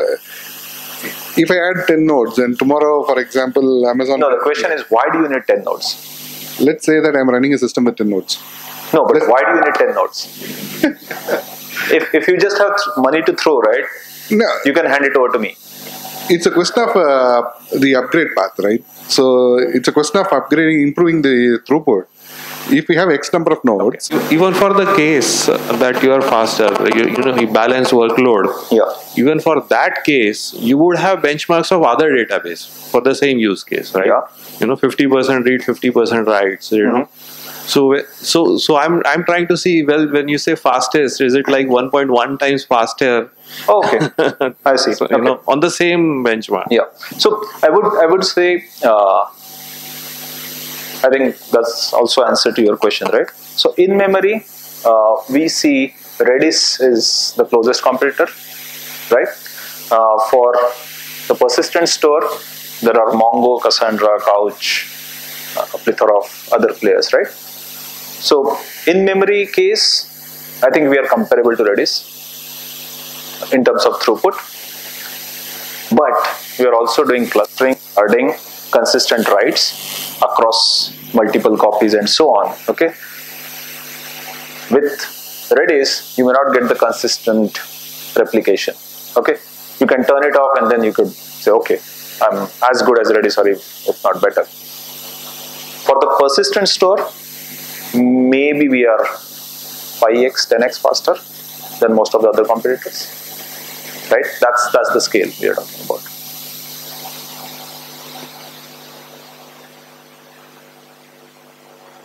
So we have first node. So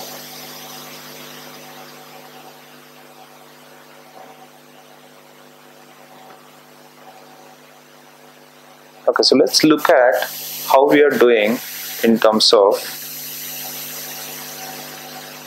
throughput.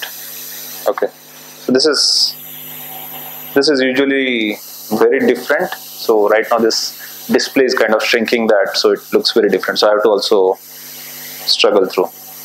Oh, it has already started the third node as well. Okay, so nodes are configured to start with Vagrant. Okay, so I can I can bring it down and then we'll see. But anyway, let's look at it. Right. So we didn't plan, so it, it has already jumped. Right. So we have all the three nodes in the cluster. We don't do anything special except booting up the Vagrant. Okay. If it's not auto run, okay, all you do is service aerospike start. That's all you did. We configured the test for 30,000 keys, if you remember, right? This is kind of approximate equal distribution. Okay, if you sum it up, I think it's going to be 60k because it's the replication factor of 2. Fine so far? We are seeing a traffic of 4200 writes, uh, sorry, reads and 4300 writes. Okay, the number of keys are going to be the same because we said 30,000 keys have to be created, 30,000 records have to be created and just keep on updating them. Okay, you can set it for 100,000, 1 million, whatever the size. I'm not really stretching this tiny laptop with three virtual machines. So far, you're with me? All right. Now let's see what happens if I bring down one of the nodes. Not this one. So which one should I bring down? Second, first, third, Let's bring down the first node because our test connected to the first node, right? So in case there is a doubt, so let me just say stop.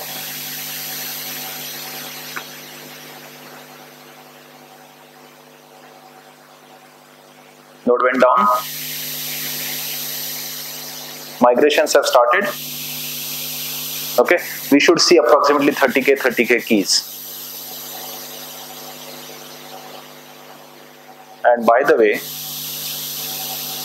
this is interesting right so you see the dip okay this is this is an error uh, so we should fix it so the dip is where the node went down where it had to do the rehashing of the partition map so it had a brief moment where the throughput dropped now the throughput is lower than what it was it was earlier 4.2k now it is what 3 3.7k right because the migrations are still treated as writes. Oops. Come on.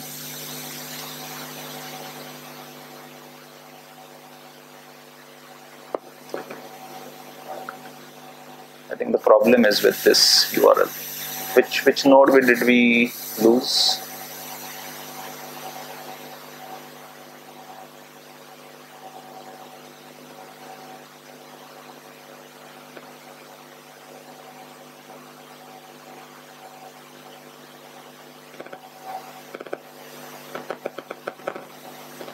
Oh. Okay, so I see. AMC, the management console, is running on only one node. Okay, and that is the node we have brought down. Okay, so it's only AMC which cannot connect. Okay, the cluster is still running. We can re-verify that by bringing it up and we'll pull down some other node.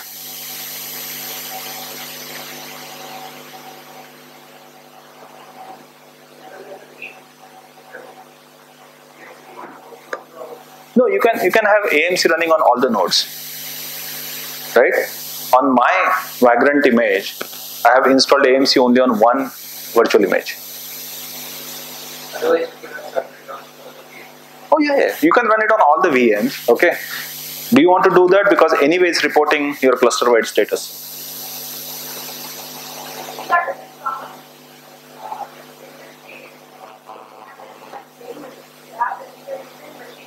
Replica is not on the same machine because this is a virtual image. Okay, so it's treated as different Linux box. Okay, so you would never have master and replica on the same box. Otherwise, why why should you have replica?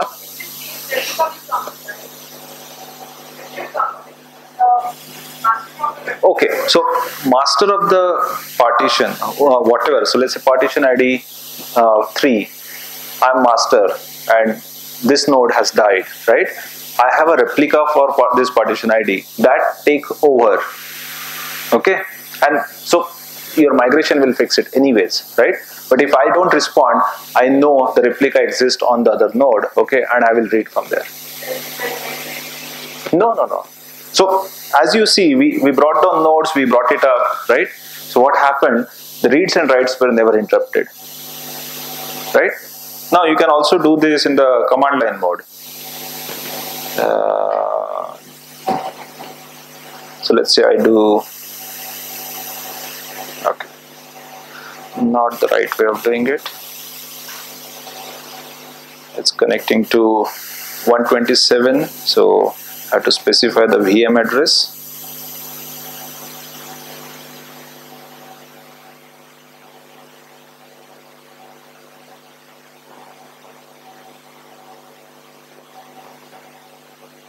Come on. I think my machine is kind of slow right now.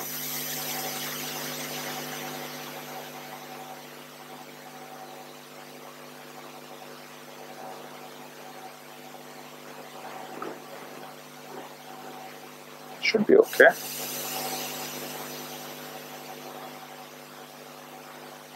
Yeah. Yeah, so it's it's gonna be slow. Okay, so why don't I stop this test, right? So that I can free up certain system resources. You would see the reads and writes rate dropping now. Yeah, there you go. And let's bring down the other node. So we chose the first node last time, right? Let's choose the second node.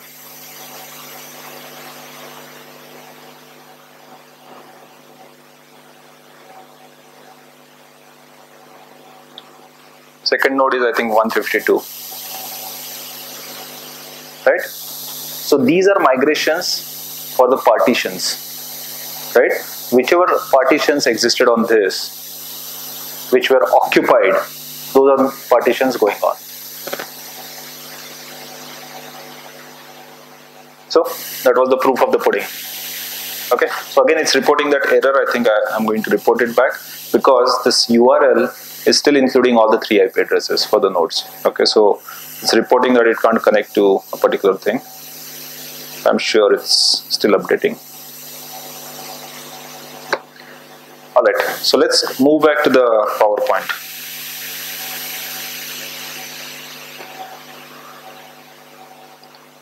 why don't I stop everything so that the machine will be a little faster.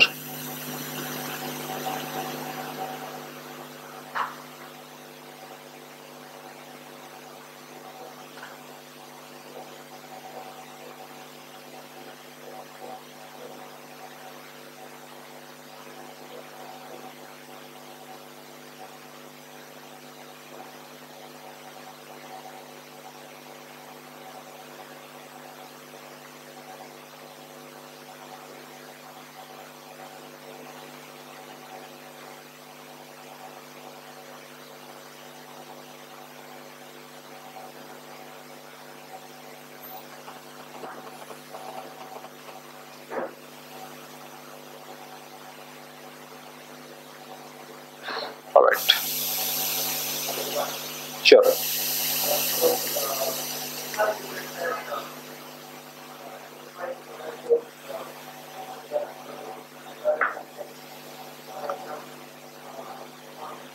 Yeah.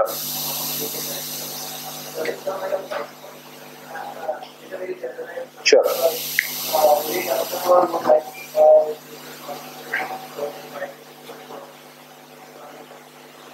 Yeah. All right. So I think it's a uh, loaded question, right? Price is con- uh, consisting of multiple parameters, right? One is what is the software price, right? You could be using community edition, so that is zero, right? Second is what is my infrastructure cost, right? So if I have to run a terabyte of data uh, with 50,000, 100,000 transactions per second, think about how many nodes do you need, right? And that is your cost you are paying to AWS or Rackspace or whoever else. Aerospike typically works at 10% fewer nodes, right? And that's that's what we were talking about. I think in Cassandra's context, that Google published their uh, benchmark, and uh, so essentially, what just using that Google reference, right? So 1 million transactions per second in Google Compute environment. Cassandra needed 300 nodes, right? Aerospike needed 50 nodes for 1 million transactions per second for write. It needed 10 nodes for read, right? So you're dropping your cost from 300 instances of AWS, right? No matter what configuration you're using, right? So you get 6x lower price for your infra cost for your write workload, right? For your read workload, it is whatever uh, 30x lower. Okay.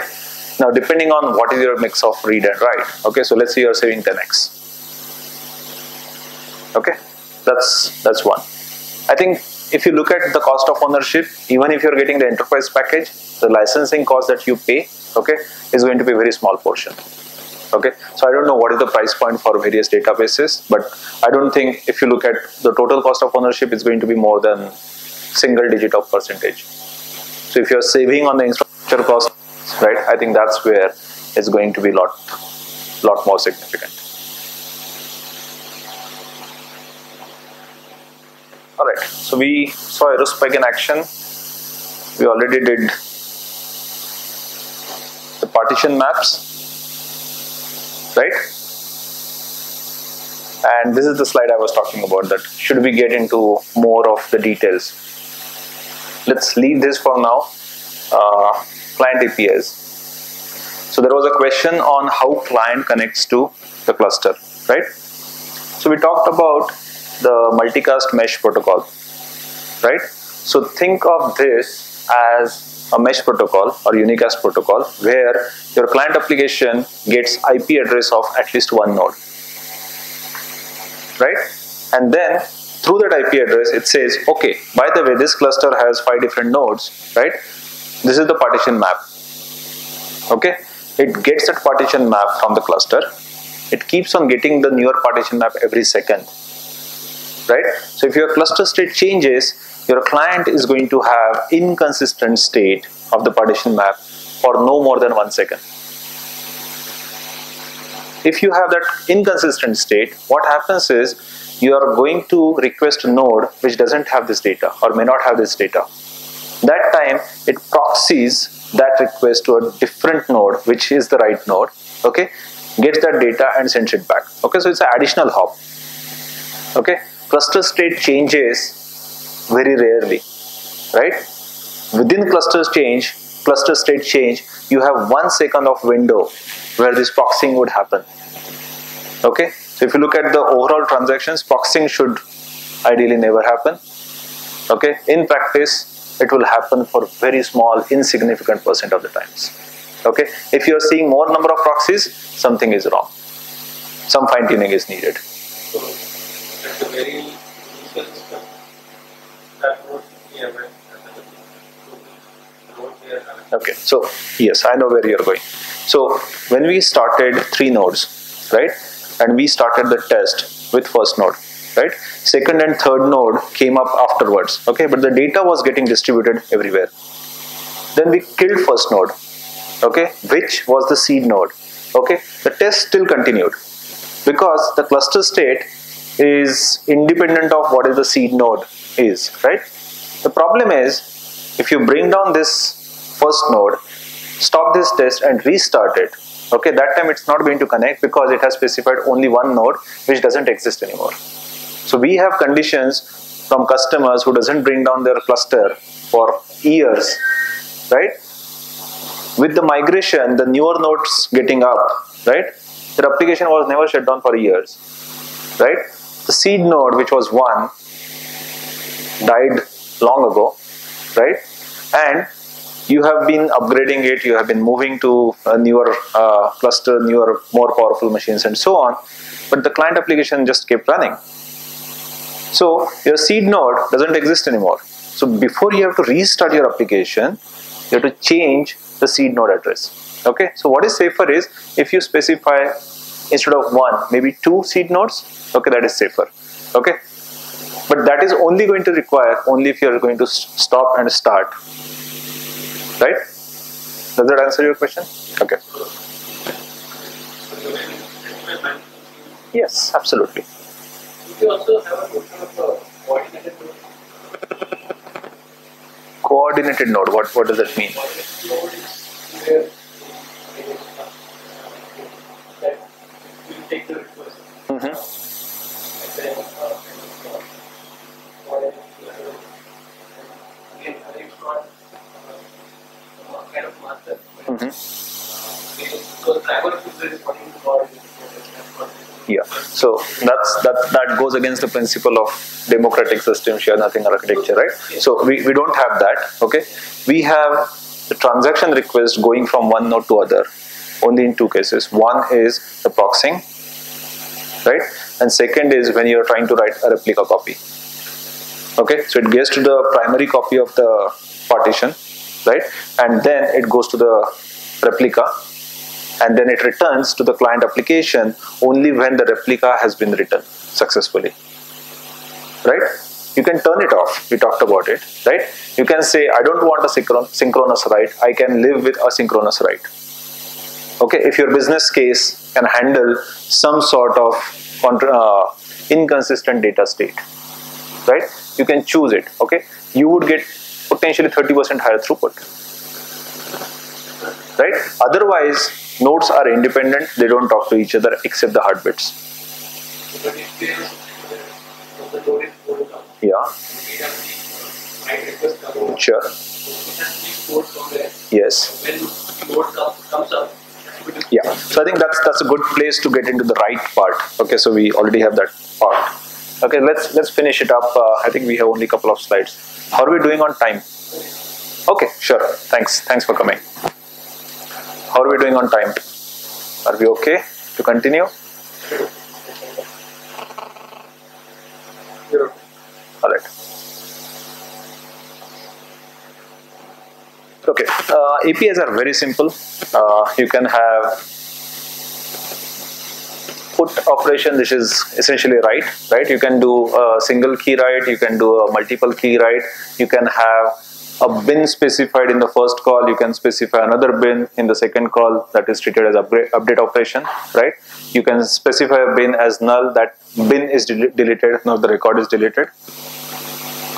Then you have get no no rocket science here. You again read the entire record. You can say okay i just want to read a fewer bins from the record.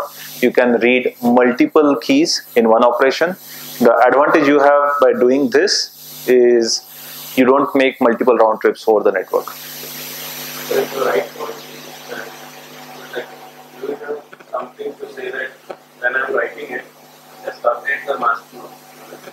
Apart from updating the replica, yeah. Just okay. So that is called as fire and forget. Yeah, right? So that's a configuration setting.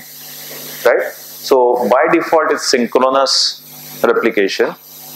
If you turn it off right it's going to be you write it into master. It will be scheduled to be written for the replica. Okay? But it's not going to wait. Okay? It may it may fail. Right? So that's a trade-off you'll have to do all right so i think that's that's all i had so what are the whiteboard issues Any other things that you want to talk about?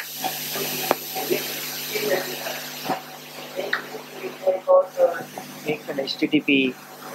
So the APIs that applications see are the native API calls. So when you're using Java API, right, you get Aerospike client, you instantiate that object, client dot connect, right? That's how you use it. So it's not a curl kind of REST API. Okay, it's it's a programming SDK API, right? Any other question? Yeah.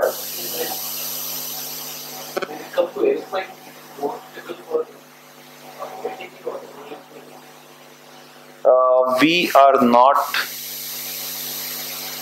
okay. So if you if you look at the querying ability okay it's limited right? It does connect with popular analytical frameworks okay? So for example we have uh, uh, lua based user defined functions okay? You can do certain things on the server side. So you can do potential map reduce. Okay, so we already have that as part of the uh, general availability release GA. Uh, you can do those kind of things, right? It is not going to be coming out of package, right? You will write your custom map reduce functions, right? And then you can work on it, okay? Or you can do a streaming from this Aerospike database to your Spark or Tableau or uh, HBase Hadoop, right? You have that option, okay?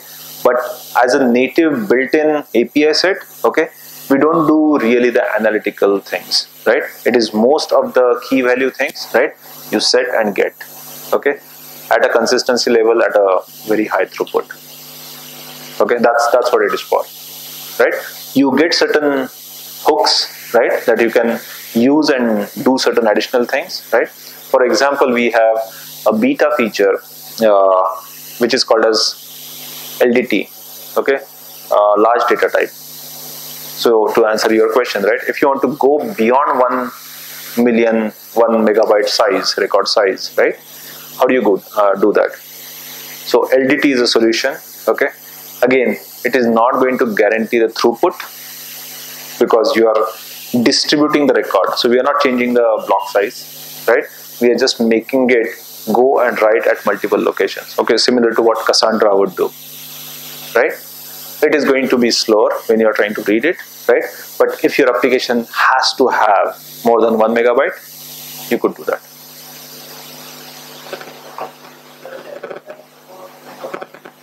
Sorry? Miss Mesos, I don't know what Mesos is. I I don't know, so I can't I can't say. Mesos. Okay.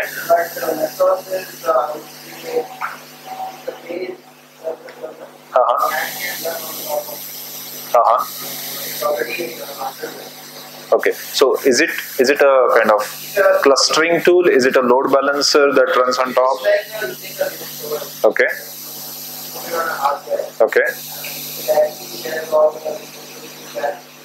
Okay. Okay. Got it. Got it. Mm-hmm. Okay.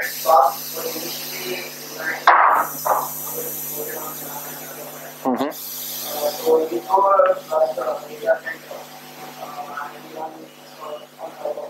Mm-hmm.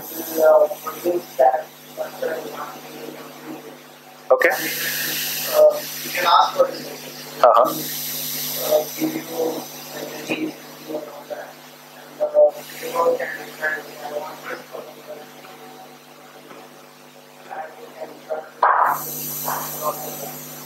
Yeah. So the, I I think the clustering mechanism we have is kind of similar, right? So we are bringing multiple nodes and doing the horizontal scaling. I think that's what Mesos is doing. But this is this is kind of same process running on all the nodes. Mesos might be doing something more, saying that okay, three nodes should run my Apache, two nodes should run Hadoop, and so on. Right. Mhm. My Correct. So it's it's defining the affinity at the uh, CPU level, right, or, or the box level, right? Yeah. Okay. For example, Aerospike wants to load a cluster. So you can give an API Mhm. that I want to load my uh. Mhm. Yeah, I haven't I haven't heard. Uh, take it from the yeah. further and add one more cluster and run your migration. Yeah, so I haven't heard uh, Mesos in Aerospike uh, context, so most likely we haven't tested on it, right? But I can get back to you whether we have actually t- tried it out. So when we talk about the democratic thinking, Yeah, so let's say that if I want increase in performance, if I want increase in performance, uh, your solution right now is to add more uh, nodes. Or is it uh, will I get better performance by throwing in bigger compute power uh, nodes into the mix? And if I have to do that, as long as I have more CPU cores and more RAM, I can still democratically be part of the system, and I can decommission the uh, the old uh, performing uh, nodes. okay. So let me make sure I understood your system, right? Uh, I understood your question. So we make most use of the hardware capabilities that are available on single box, right? That's where we are high performing system, right? Then that particular box, whatever is the capability, may not be sufficient for you. Okay, in terms of throughput, in terms of storage, in terms of replications, the high availability part. So you throw in additional boxes, right? The old model was, oh, you get a humongous box to run your Oracle, right? The new model is you get a commodity hardware out of AWS, Google Compute, or whatever, right? Which will cost you a dollar or two per day, right? And then can you upgrade that to a more powerful machine, or can you add more machines of the same configuration? right? So both the things work. So in fact, on AWS, on single instance, we have demonstrated 1 million transactions per second, right? Obviously, it would come with single copy of replication, right? So all the um, shortcuts, right? So that we can achieve that 1 million transactions, right? But you can get that on single box, right? Now, if you can achieve that 1 million transactions per second, you know how much that translates into? 60 seconds is 1 minute, 60 minutes is 1 hour, 24 hours, right? So you multiply by that 3600 into 24, right? You're, you're doing more than what? How much would that be? 10 billion, 100 billion? If your system is handling 10 billion transactions per day, right? Then only you require additional capacity, right? Very few systems in the world, okay, has that kind of load. Okay, what you want is a insurance so that in future, when I become big, what is that I need? Yeah, but scaling doesn't necessarily mean adding more. If I add 10 nodes and tomorrow, for example, Amazon. No, the question is why do you need 10 nodes? Let's say that I'm running a system with 10 nodes. No, but why do you need 10 nodes? if, if you just have money to throw, right? No, You can hand it over to me. It's a question of uh, the upgrade path, right? So it's a question of upgrading, improving the throughput. If we have X number of nodes, Okay, so now we are talking about throughput in terms of transactions per second. yes, Okay, we already talked about single node can handle easily. Forget about the 1 million TPS, right? That is kind of fine tuned for certain data types and so on. Typically, we see in production 100k TPS, right, on a node, right? Uh, this would be the large instances, R3 kind of instances on AWS, okay, or Yeah, so that's what I said typically, right? Uh, so every every customer will have different kinds of uh, throughput. So this is something I'm talking about. Let's say ad tech kind of use use case, right? Or a cookie store, or a session store, right? Where your record size is going to be a kilobyte or two kilobytes, right? Because real time, right? If you want half a millisecond response time, you also want to run million requests in a second, right? And you are running it on one gigabit network, right? So how, how, how is it going to calculate, right?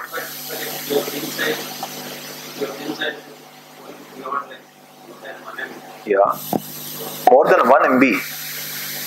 One MB is the maximum limit you can have. right, right. Yeah. So, I mean, so let's say if I have to store really some some data, let's a Facebook update, something Mhm. like that. Yeah. So you know, an image I can't. No, I think I think your data model is wrong in this case. I'll, I'll tell you what how, how it works, right? You can have large records, right? You can save image, right? Why do you need image in Aerospike database for real-time processing? Your browser provides you a late loading and lazy loading, all kind of features, right? Shove it onto Dropbox or S3 or whatever, right? You don't you don't want that image to be loaded in five milliseconds. Your Facebook image doesn't load while you are scrolling. What about No, no, no. So let's let's step back, right? You have to make a conscious choice, okay? Whether your system is high performance system, okay, or a more data full system, right? You have choice. Let's say Facebook, right? You can say my entire data about this user, whatever this da- uh, user has chatted, whatever is on his timeline, whatever are the images, whatever are the likes and comments, right? Everything is in single record. That's one data model. You can divide that into oh, here is a data model for friends list, here is a data model for blah, here is a data model for blah, right? You can also divide it saying that oh, by the way, what is not real time? Okay, I will use a MySQL for that. Think about use case. What is not real time on Facebook? How much time it takes to load your friends list? That is not real time use case. Right? So you don't need that there. Okay? Who you might want to connect? That's not a real time use case. That's analytical use case. You could have a graph database or whatever else, right? you you do that calculation okay you're not going to get a solution which says oh i have apache and apache is going to give me 100000 concurrent connections. No you fine tune it right? So you do the right data modeling and then you get the maximum throughput. Right? So let's say you are tracking 5 billion cookies right? And you want to shove in all the websites that user has been visiting because it's a tracking cookie right? So your cookie size is going to be 100 kilobytes and you have 5 billion cookies to track. Why are you doing it? So what you do is you differentiate the real time data and non real time data right? Whatever has lost its relevance you shove that into a larger data store right? More persistent data store. Do the pre-processing of the analytical data that you need keep that in the real-time system. Okay? That 100 kb will reduce to 10 kilobytes when you have pre-processed that or even smaller. That is what you need to be real-time answered. First you are going to pay cost of 100k over the network. Then you're going to process that data right? Why do you have to do that? Do that in background. Yeah go ahead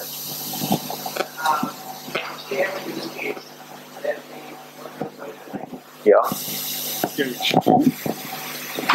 um, uh, we have a use case. Uh, so it's like uh, when in our product we create a new contract. Yeah. Uh, it takes a lot of time in creating contract. So eh, one of the places where you know customers when they call uh, in Europe they have different uh, states and cities and then there are addresses, right? Mm-hmm. So customer doesn't know the exact address. Yeah. But the the guy who is creating a contract, you know, based on what customer says, mm-hmm. like they want to quickly find out the address of that particular person. Okay. Right. So it's kind of like when you type, you actually How, want how fast? How fast these agents can type? Is it a one millisecond requirement? It's not real time requirement for me. Hmm. How fast can you type? Yeah, okay. No, I I was uh, just trying to understand that so whether we you can, you can use this, right? But I don't think you are really looking for a lightning blazing fast speed here, right? You're looking for acceptable speed. Okay, that's different. Yeah, but like if we have huge amount of data of these streets and addresses, uh-huh. if I go and store it somewhere in database, yeah, right, MySQL or something, and then when they are actually typing, hmm. instantly I want to give them the suggestions. Yeah. That use, okay. Use Elasticsearch. That works perfectly fine for you, right? Okay. See, we we cannot afford to build complex secondary indexes. For example, we support secondary index, but that comes with a cost. Every time you update a record, your secondary index tree has to update it, right? So you're consuming more resources of your node. Hmm. We don't have secondary index where where city like Pune. Okay, we don't have that. You only have city equals to Pune. You can have that query, but you can't say okay city name starting with pu. Hmm. We don't do that. It's always the exact match. Okay, because if you look at number of combinations that we have to maintain, okay, right? Because then it gets into more of your memory intensive, compute intensive process for every transaction. If you support that, your throughput goes down. Right? If you're going to look for the specific key, okay, this works perfectly fine. Specific bin, this works perfectly fine. Okay, The, the other use case uh, is uh, like we have a huge amount of master data in our application. Right? Master? Master data kind of stuff. So we want a quick lookup for that Uh-huh. in our pages. Yeah. So we were thinking of this Redis cache uh, stuff. Okay. So in yeah, that so case, uh, if if your data is not bigger than what it can fit into memory, right? Then you can look for something that is in memory. Okay, so I'll, I'll give you example. What is the largest RAM you can buy, or the hardware can support? Okay, I think Amazon supports 256 gig or something, right? If your data is going to be bigger than that, right? obviously you need replication because you don't want to lose data right think about you're paying for 256 gig of ram versus you're paying for 16 gig of ram and shoving that data into ssd okay? Your machine cost is going to be at least 50 times cheaper right? What is the compromise you're doing? With in-memory database you're going to get let's say less than 1 millisecond response for 99.9% of the transactions right? With ssd you might get 2 milliseconds for 99.99%. Okay, for 1 millisecond of response time, if that is so critical. We talked about the online fraud kind of cases. Okay, they cannot compromise on certain things. If your can more and 1 millisecond versus 2 millisecond doesn't matter to you, right? Choice is yours. So whoever has extra money, I'm ready to take it.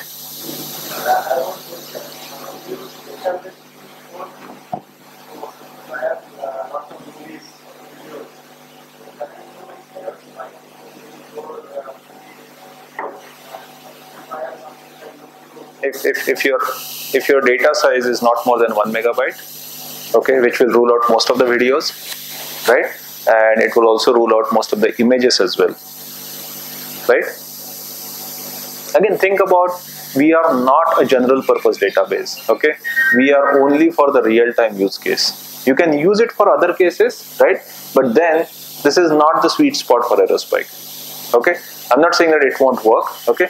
But why are you using aerospike you're not getting the advantages it provides So you can, can we use that for maintenance of this? Yeah, absolutely. People like Snapdeal and so on are already using it. Right. Yeah. I mean, So if it works at Snapdeal's case, right, right. it should work on most of the other cases. because at well. a record level, it is ACID. Uh, Yeah. And uh, one more question. So long back, uh, uh, I worked on Terracotta, Mhm. so VM level. So can you say that uh, it is equivalent to a Ehcache using a Terracotta and, Uh-huh. and clustering it? Uh-huh. It is the same way that, but it is much of kind of a database way. I can I can possibly say confidently what Aerospike is. I may not be confidently able to say the analogy that you are trying to say, Uh, right? Because I don't I don't know if I understand that well enough. Uh, the analogy is that it just, it's a simple caching. I mean, so you know, it's a VM level caching. Mm-hmm. Yeah. But uh, when you do a VM level caching on one node, then you expect the other node to be, you know, speed up. Let's say if you updated something, then uh, other node should be get also updated, right? Mm-hmm. And you expect all nodes in sync. The you know, let's say I used a hash map. Let's say, so if I update a key and value, the Uh-huh. other nodes will also get replicated with the same way. Yeah, so, So- we, we already have that. We have complex data structures supported. Uh, so we have list and map. Okay, and if you update one, right, the other replicas are getting updated. Can I get So all the keys also here? Can I get all the keys all the keys in terms of? In a one table or one, one map? Yeah, you can do a scan. Yeah, Oh, we can scan? absolutely. You can do query. You can do scan. Okay. Right. What I was saying is querying is not that complex, right? So you can't say order by, group by, multiple where clauses, right? But you can say, okay, give me all the keys where city is Pune, as as we said, right? You will get all the keys. You can scan the entire uh, uh, database where you say set equals to blah or namespace equal to blah, right? You will get everything, right? If it's needed, yeah, you can do it. So, uh, time check. we are already at six. Uh, we are past our time. So, if we can just have a few questions and then, you know, we don't want to hold back Samir and also we want to make sure that we stick to some time. Okay. Sir, I last question on the, on the net for project section. uh, there is a use of Yeah. So uh, all the names that I mentioned. Uh, so which one? Forensic IQ is what I mentioned, right? So if you if you go to I think customers or some related page, I don't know what exactly the page is, but we have bunch of use cases listed. Okay, not everything is allowed to be displayed in the public domain, but whoever has allowed us. In fact, what we do is uh, somebody asked, right, how fast are we, and so on, right, or why we are better than other database. So we ask our customers to write blogs, right, so that when uh, a Snapdeal tells you why they're using Aerospike instead of any other competing products, right? It's a lot more authentic and trustworthy information, right? And whenever that is kind of given in the public domain from the customer side, we also list that as a use case on our website. So you would find a bunch of use cases there. Not technical question. It's like, I don't understand technology, anyways. like say, aerospace has been in this for uh, five years. Yeah. So how is aerospace aerospace aerospace came to be? Was it just a byproduct of some other idea or it was a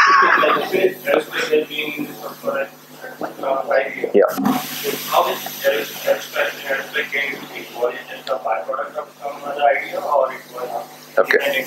Good question. So Aerospike started, yeah, approximately five years ago, right? We we were called Citrusleaf then. Okay, Citrusleaf and today's Aerospike, right? The company name had changed. Uh, has been only working on one product since its inception, right? The product has been evolving. Uh, with I think 3.x release, we renamed the product from Citrusleaf to Aerospike, right? And uh, like as a Aerospike release has been around for I think year and a half now, maybe two years, but we do nothing but real-time, fast transactional database. Okay, it's more of a coincidence that it's also no NoSQL. Okay, so we don't call ourselves as NoSQL database. We we just say okay, we are a real-time database.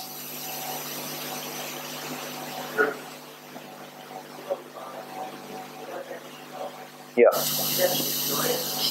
Yeah. How do you decide when to scale up and when to scale up. Uh, I mean, uh, Yeah. uh, is there any kind of tool that you provide me that Yeah. So see, uh, yeah. how do they decide whether uh, in this context I should up? Yeah. So I think it, it goes back to Yeah. Mukund's question. Sorry, I was kind of little snappy at you, but uh, see, there are going to be certain limitations imposed by your hardware, right? So you could be limited in terms of throughput, right? Which most likely could be because you're maxing out, saturating on the network side, you're saturating on the memory side, you're saturating on the CPU side, right? Now, that is where you're kind of taking the full juice out of one system, right? But let's say you're maxing out on memory, but you still have network and uh, CPU left, right? Potentially, you can upgrade to a higher uh, memory instance, right? And you can get advantage of with lower cost, right? Because you have some spare capacity on the other fronts. So you can fine tune that, okay? So what we have is we have a capacity planner guide. Okay, we are we are not really a very well organized company in terms of putting every tool out in the public domain, right? So it, it still exists in public domain, but it's not in a great user friendly manner. But whenever a customer gets onto Aerospike, that is the first thing we do. Okay, how much memory you will require in terms of primary index? Are you going to use secondary index? How you should do capacity planning? What kind of throughput do you need? What kind of hosting environment you have? Which kind of configurations you should use so that you get maximum juice out of a Google Compute, Amazon, Rackspace, and so on, right? Once you do that, what is your replication factor should be, right? Do you want to do it in memory? Do you want to do SSD? We talked about this large data, right? Are you going to have multiple data centers, right? What should be the network topology? So we walk you through. Product is pretty complex, right? And public domain information is there, okay? Most of the information is out there, okay? The only problem is we haven't organized it that well yet. Okay, so it's work in progress. Okay, so we are we are so busy on the engineering side, right? So website documentation is slightly behind. Okay, it's catching up, but not there yet. It could be better. All right, are we good? We are. Uh, I think we, we still have few few questions on the whiteboard. You haven't gotten started, and uh, honestly, some of these are academic, and you could learn it on yourself. Okay, so uh, whoever is interested, there are there are very good white papers available on Aerospike site. Okay, there is a white paper I personally like very much. Is a white paper written by founders of the company, Brian and Srini, in 2011. Uh, that was published in very large databases uh, forum. So if you search on Aerospike white paper VLDB, right, you would find that, right, and that talks about lots of these things okay in very very concise and clear manner okay? I may not be doing the right job in explaining that to you right? But if you read that paper i think most of these questions would be answered to your satisfaction right you can reach out to me my email address is samir s-a-m-i-r at aerospike.com we'll be happy to answer your questions offline as well So we have to wrap up here. Thank you very much, Samir, and thank you everyone who came here. Uh, and especially thank you to you, uh, Mukund, for organizing this. So thank you, TechNext and Synerzip. If you have any questions, like Samir said, please email to him. Uh, hopefully, everybody has signed up here so that I can email as well. So I'll get back to you. Anybody else? You haven't signed up? Okay. Uh, you will be getting an email from me shortly. I'm Ritu. So don't consider as a spam when you get an email from me. If not, if your handwriting I cannot understand, then please come here and take a business card and let's keep in touch. Go through Facebook, go through our meetup.com scale warrior. Uh, and check out our Twitter page. I'm from the marketing side. So that guy who has asked a non-technical question gets a t-shirt like me. What's your name? Deepak, from which company? Yeah. You get a t-shirt and a t-shirt. Sorry, I'm being a little miser, but uh, if you give good feedback on our social media page, you guys will get a t-shirts as well. Yeah. Thank you guys. Thank you so much.